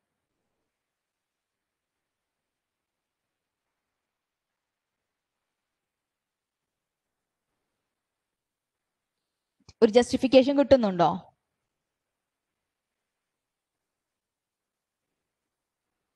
Six million അല്ലെങ്കിൽ five hundred thousand അത് ഓക്കെയാണ് accounts റിസീവബിളിന്റെ case അത് ഓക്കെയാണ് but the contract asset of one million five hundred thousand how did you get so ബില്ലിംഗ്സിന്റെ case ഞാൻ പറഞ്ഞു. So progress billing still till this period six million billings കൊടുത്തിട്ടുണ്ട്. ആ bill provide ചെയ്യുന്നത് നമ്മൾ ക്യാഷ് കളക്ട് ചെയ്തിട്ടില്ലേ? എത്രമാത്രം ക്യാഷ് കളക്ട് ചെയ്തിട്ടുണ്ട് till date five million five million five hundred thousand cash ഇതുവരെ കളക്ട് ചെയ്യും അക്കൗണ്ട്സ് റിസീവബിൾ എത്രമാത്രം ബാലൻസ് ഉണ്ടാവുള്ളൂ? എത്രമാത്രം ബാലൻസ് ഉണ്ട് accounts receivable five hundred thousand ഇനി ഇതിന് വേറെ രൂപത്തിൽ ചെയ്യാം. രണ്ടായിരത്തി പതിനാ പതിനാറിൽ നമ്മൾ അക്കൗണ്ട്സ് റിസീവബിൾ ആയിട്ട് എത്ര കളക്ട് ചെയ്തു? അക്കൗണ്ട്സ് റിസീവബിൾ അക്കൗണ്ട് ഉണ്ടാക്കാന്ന് വിചാരിച്ചോ. അപ്പൊ one million eight hundred thousand നമ്മൾ രണ്ടായിരത്തി പതിനഞ്ചിൽ ഇൻക്ലൂഡ് ചെയ്തു. എന്നിട്ട് വർഷം ആ വർഷം തന്നെ നമ്മൾക്ക് ഒരു one million four fifty thousand receive ചെയ്തു. ഇനി എത്രയുണ്ട്? One million eight hundred thousand minus one million four fifty thousand so three fifty thousand അല്ലേ?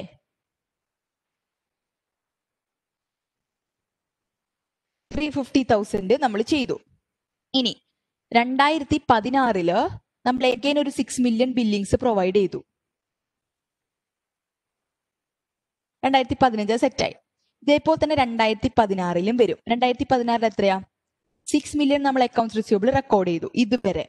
സോ രണ്ടായിരത്തി പതിനാറിൽ മാത്രം നമ്മൾ റെക്കോർഡ് ചെയ്യുന്നത് ഈ സിക്സ് മില്യൺ മൈനസ് ആ ഒരു കാൽക്കുലേഷൻ പോകുമ്പോൾ കുറച്ച് കൺഫ്യൂസിങ് ആട്ടോ. One million two hundred thousand രണ്ടായിരത്തി പതിനാറിൽ മാത്രം നമ്മൾ റെക്കഗ്നൈസ് ചെയ്യും. സോ ടോട്ടൽ എത്ര വരും? ടോട്ടൽ വൺ മില്യൺ ഇത് കുറച്ചുകൂടെ കുഴപ്പിക്കുന്ന കാര്യം കേട്ടോ one million two hundred thousand plus three fifty thousand one million five fifty thousand വരും രണ്ടായിരത്തി പതിനാറിൽ നമ്മൾ കളക്ട് ചെയ്യുന്നുണ്ട്. എത്ര കളക്ട് ചെയ്യുന്നുണ്ട്? Five million five hundred thousand മൊത്തം ഇതുവരെ. One million four fifty thousand ഇവിടെയും കളക്ട് ചെയ്യുന്നുണ്ട്. സോ അങ്ങനെയായിട്ട് നമ്മൾ ഡിഫറൻസ് ഡിഫറൻസ് എടുത്ത് പോകേണ്ടി വരും. Never go for these calculation just നമുക്ക് ആ ഇൻകേർഡ് ടു ഡേറ്റ് എന്ന് പറഞ്ഞ് തന്നിട്ടില്ലേ? So cash progress billings to date six million ഇതുവരെ അതിൽ നിന്ന് cash so total accounts receivable six million ഉണ്ടായിരുന്നു. ഇതുവരെ നമ്മൾ റെക്കോർഡ് ചെയ്തിരിക്കുന്നത് five million five hundred thousand cash collection from the accounts receivable so total is five hundred thousand And how did you get this 1,500,000 is the actual question. 1,500,000 contract asset So contract asset means construction in process. So actual cost incurred today six million seven fifty എല്ലാ കോസ്റ്റുകളും നമ്മൾ നമ്മൾ എന്തിട്ടാണ് ഈ contract asset അക്കൗണ്ടിൽ നമ്മൾ കാണിച്ചുകൊണ്ടിരിക്കും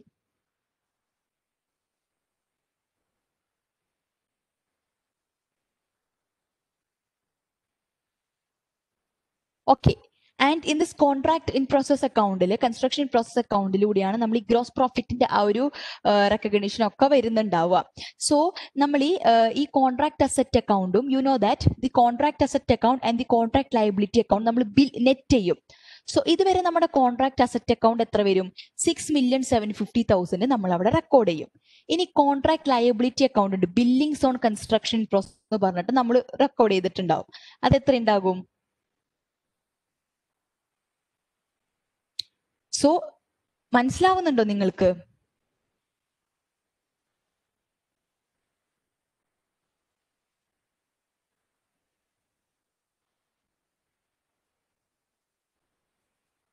ഒന്നുകൂടെ പറയൂ. ഓക്കെ സോ അതൊരു ക്ലാരിഫിക്കേഷൻ ആകട്ടെ. ലെറ്റ്സ് മാം മനസ്സിലായി വരുന്നു. ഓക്കെ ഓക്കെ പറഞ്ഞുതരാം.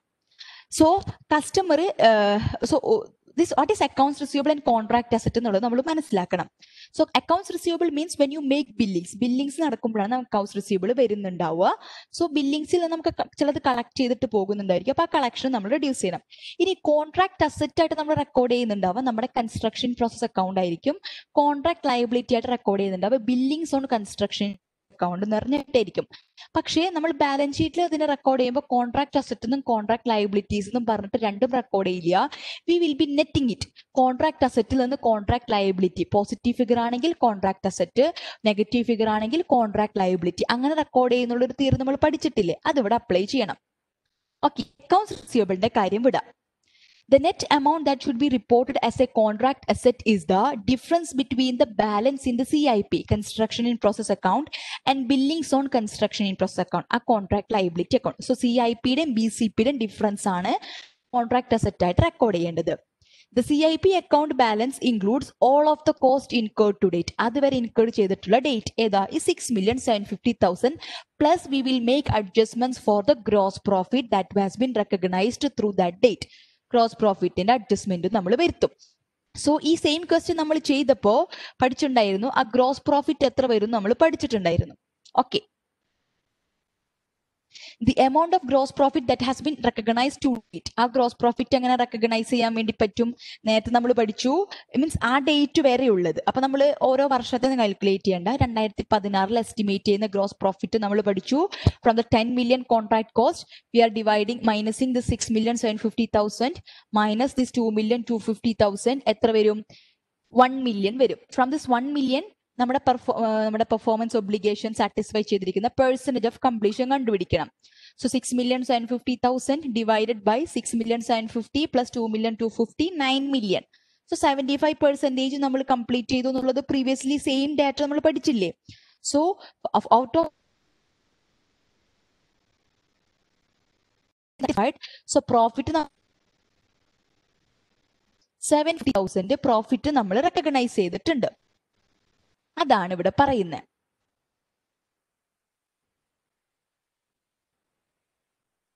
സോ കൺസ്ട്രക്ഷൻ പ്രോസസ്സിന്റെ ബാലൻസ് എന്തായിരിക്കും? Cost incurred to date plus പ്രോഫിറ്റും കൂടെ അവിടെ ആഡ് ചെയ്യും. അഡ്ജസ്റ്റ്മെന്റ് വരുത്തും. So six million seven fifty thousand million five hundred thousand ആയിട്ട് മാറും. ഇതിൽ നിന്ന് നമ്മുടെ കോൺട്രാക്ട് ലയബിലിറ്റി ആയിട്ടുള്ള ബില്ലിങ്സ് കുറയ്ക്കണം എത്രയാണ് ബില്ലിങ്സ് ഉള്ളത് six million this progress billings will be accumulated in which account will be accumulated in the contract liability account minus six million So you will be getting 1 million 500,000 as the contract asset. The key point is that contract asset is the construction in process account and contract liability is the billings in process. So billings of the construction in process BCP account. So ഈ contract in construction process account നമ്മൾ എന്തൊക്കെ recognise ചെയ്യും? We will be recognising the cost cost recognise ചെയ്യും. And നമ്മൾ നേരത്തെ ഒരു theory ക്വസ്റ്റിനിൽ പഠിച്ചു. ഈ ഗ്രോസ് പ്രോഫിറ്റ് ഉണ്ടെങ്കിൽ അതും നമ്മൾ ഈ കൺസ്ട്രക്ഷൻ പ്രോസസ് അക്കൗണ്ടിൽ നമ്മൾ റെക്കഗ്നൈസ് ചെയ്യാണ് ചെയ്യുന്നത്. So we will be recognising the six million seven fifty thousand cost plus the profit ആ ഗ്രോസ് പ്രോഫിറ്റിന്റെ കാൽക്കുലേഷൻ നമ്മളൊരു ക്വസ്റ്റ് നേരത്തെ പഠിച്ചായിരുന്നു. ആ സെവൻ ഫിഫ്റ്റി തൗസൻഡ് കൂടുതൽ നമ്മൾ റെക്കഗ്നൈസ് ചെയ്യും ഇതുവരെയുള്ള profit six million seven fifty thousand plus seven fifty thousand എത്ര വരും? Seven million five hundred thousand is the total construction in process account അതിൽ നിന്ന് നമ്മൾ എന്ത് ചെയ്യാം? ബില്ലിങ്സ് കൺസ്ട്രക്ഷൻ കോൺട്രാക്ട് ലയബിലിറ്റി ആയിട്ടുള്ള billings on construction in process account B C P എത്ര Billings ഉണ്ട്? സിക്സ് മില്യൺ ടു ഡേറ്റ് ആ സിക്സ് മില്യൺ കുറച്ച് മില്യൺ കുറച്ച് കളഞ്ഞിട്ടുണ്ടെങ്കിൽ one million five hundred thousand ആണ് നെറ്റ് കോൺട്രാക്ട് അസറ്റ് ആയിട്ട് കാണിക്കുന്നുണ്ടാവുക. ക്ലിയർ ആയോ?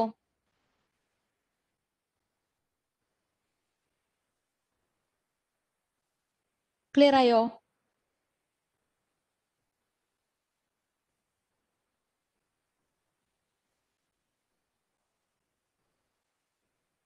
yes the thing that you have to note is that construction in process അക്കൗണ്ടിൽ എന്തൊക്കെ പെടും കോസ്റ്റ് ഇൻകോർഡ് ടു ഡേറ്റും പെടും പിന്നെന്താ ആ ഗ്രോസ് പ്രോഫിറ്റിന്റെ അഡ്ജസ്റ്റ്മെന്റും പെടും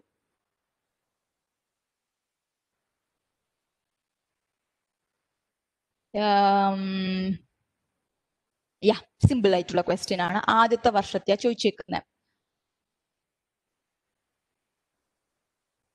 A company began work on a long-term construction contract in 2011. The contract price was 3 million. Year-end information related to the contract is as follows. Long term contract ആണ് നമ്മൾക്ക് ഒരു മൂന്ന് വർഷത്തെ ഡേറ്റ് തന്നിട്ടുണ്ട് കോൺട്രാക്ട് പ്രൈസ് ത്രീ മില്യൺ ആണ് if the company recognises the revenue for this contract over time using the cost to cost method ഏതാ over ടൈമും ആണ് കോസ്റ്റ് ടു കോസ്റ്റ് മെത്തേഡും ആണ് the gross profit to recognise in two thousand eleven so gross profit എത്ര recognise ചെയ്യാൻ വേണ്ടിയിട്ട് ആദ്യം നമ്മൾ എന്ത് ചെയ്യും estimated caps estimated total gross profit കണ്ടുപിടിക്കും അതെങ്ങനെയാ what is the contract price three million minus estimated total cost already provide ചെയ്തിട്ടുണ്ട്. നമ്മൾ അല്ലെങ്കിൽ കോസ്റ്റ് ഇൻകേർഡും എസ്റ്റിമേറ്റഡ് ടോട്ടൽ കോസ്റ്റ് കംപ്ലീറ്റും വെച്ചിട്ട് നമ്മൾ ചെയ്യും. ഇതിന് പകരം ഇവിടെ ഡയറക്റ്റ് ആയിട്ട് എസ്റ്റിമേറ്റഡ് ടോട്ടൽ കോസ്റ്റ് തന്നിട്ടുണ്ട്. ഓൾറെഡി ഇവിടെ തന്നിട്ടുണ്ട്. സോ അത് നമ്മൾ എടുത്താൽ മതി. ടു മില്യൺ സോ ഒരു ഒരു കമ്പ്യൂട്ടേഷൻ നമ്മൾക്ക് ലാഭായി സോ വൺ മില്യൺ ആണ് നമ്മുടെ പ്രോഫിറ്റ് എസ്റ്റിമേറ്റ് ചെയ്യുന്നത്. ഇനി നമ്മൾ എന്താ കണ്ടുപിടിക്കേണ്ടത്? Percentage of completion P O C percentage of completion what is it what is the cost incurred 700,000 divided by estimated total cost 2 million. So what is it? 700,000 divided by 2 million എത്ര വരും 35 percentage. അല്ലേ so one million എത്ര percentage profit നമ്മൾ recognise ചെയ്യണം thirty five percentage first year ആണ് so one മില്യന്റെ thirty five percentage three fifty thousand നോക്കട്ടെ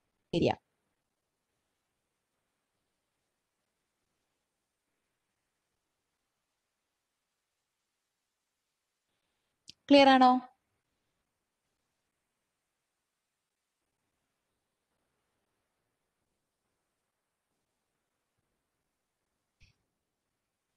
okay ഇത് two thousand one first year അതിന്റെ പേരിൽ തന്നെ കേട്ടോ നമുക്ക്. രണ്ടായിരത്തി പന്ത്രണ്ടൊക്കെ ആണെങ്കിൽ ഈ ടോട്ടൽ കണ്ടുപിടിച്ചിട്ട് അതിൽ നിന്ന് ടൂ തൗസൻഡ് വണ്ണിലെ പ്രോഫിറ്റ് നമ്മൾ കുറച്ച് കളയേണ്ടതായിട്ടൊക്കെ വരും.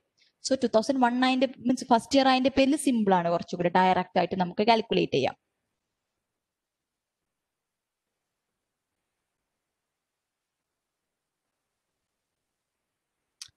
Clear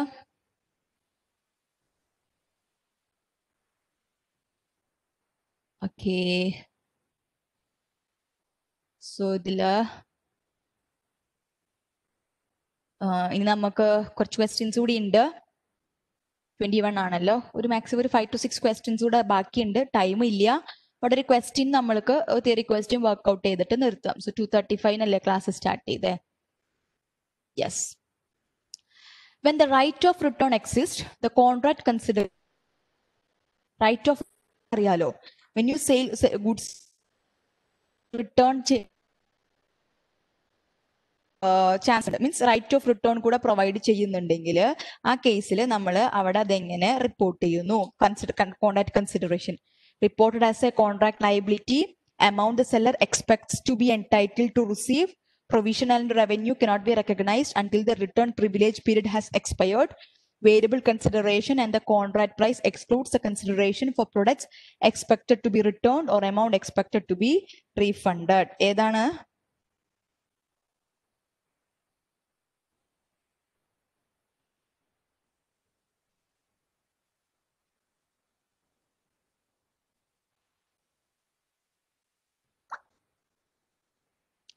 deo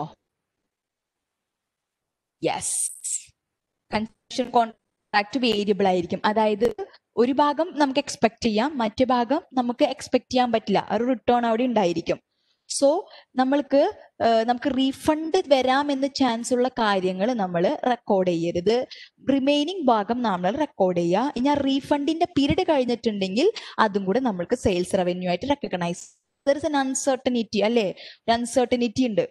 What is that portion that we are sure of receiving it we could recognize it as sales revenue and that variable part നമ്മൾക്ക് ഉറപ്പില്ലാത്തൊരു കാര്യം ഉണ്ടല്ലോ ആ ഒരു ഭാഗത്തെ നമ്മൾ മാറ്റി വെക്കുക എന്നിട്ട് ആ ഒരു റിട്ടേൺ പീരീഡ് കഴിയുമ്പോഴോ അല്ലെങ്കിൽ ആക്ച്വൽ റിട്ടേൺ ഒക്കെ അവർ എക്സസൈസ് ചെയ്ത് കഴിയുമ്പോഴോ നമ്മൾക്ക് അതനുസരിച്ചിട്ട് റവന്യൂ റെക്കഗ്നൈസ് ചെയ്യാം. When the right of return exists, the contract consideration is variable. The contract's transaction price should exclude consideration related to products expected to be returned or amounts expected to be refunded. The seller should recognize revenue at the amount it expects to be entitled to receive, which is the revenue only for goods or services not expected to be returned or refunded. Clear?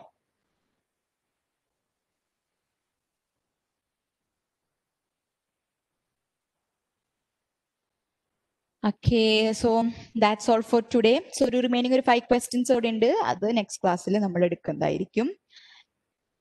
So so let's wind up our today session so see you all the next class tomorrow leave ആണല്ലേ അടുത്ത leave ആണ്. So in the day after tomorrow let's discuss the question and the integrated reporting ഇനി അതാണ് എടുക്കാൻ ബാക്കിയുള്ളത്. അതുകൂടെ കഴിഞ്ഞാൽ നമ്മുടെ പോർഷൻസ് ഒക്കെ കഴിയും. We will be bidding bye to the section A. So let's see in the next class. So thank you guys. And good evening and good night, everyone, advance. thank you.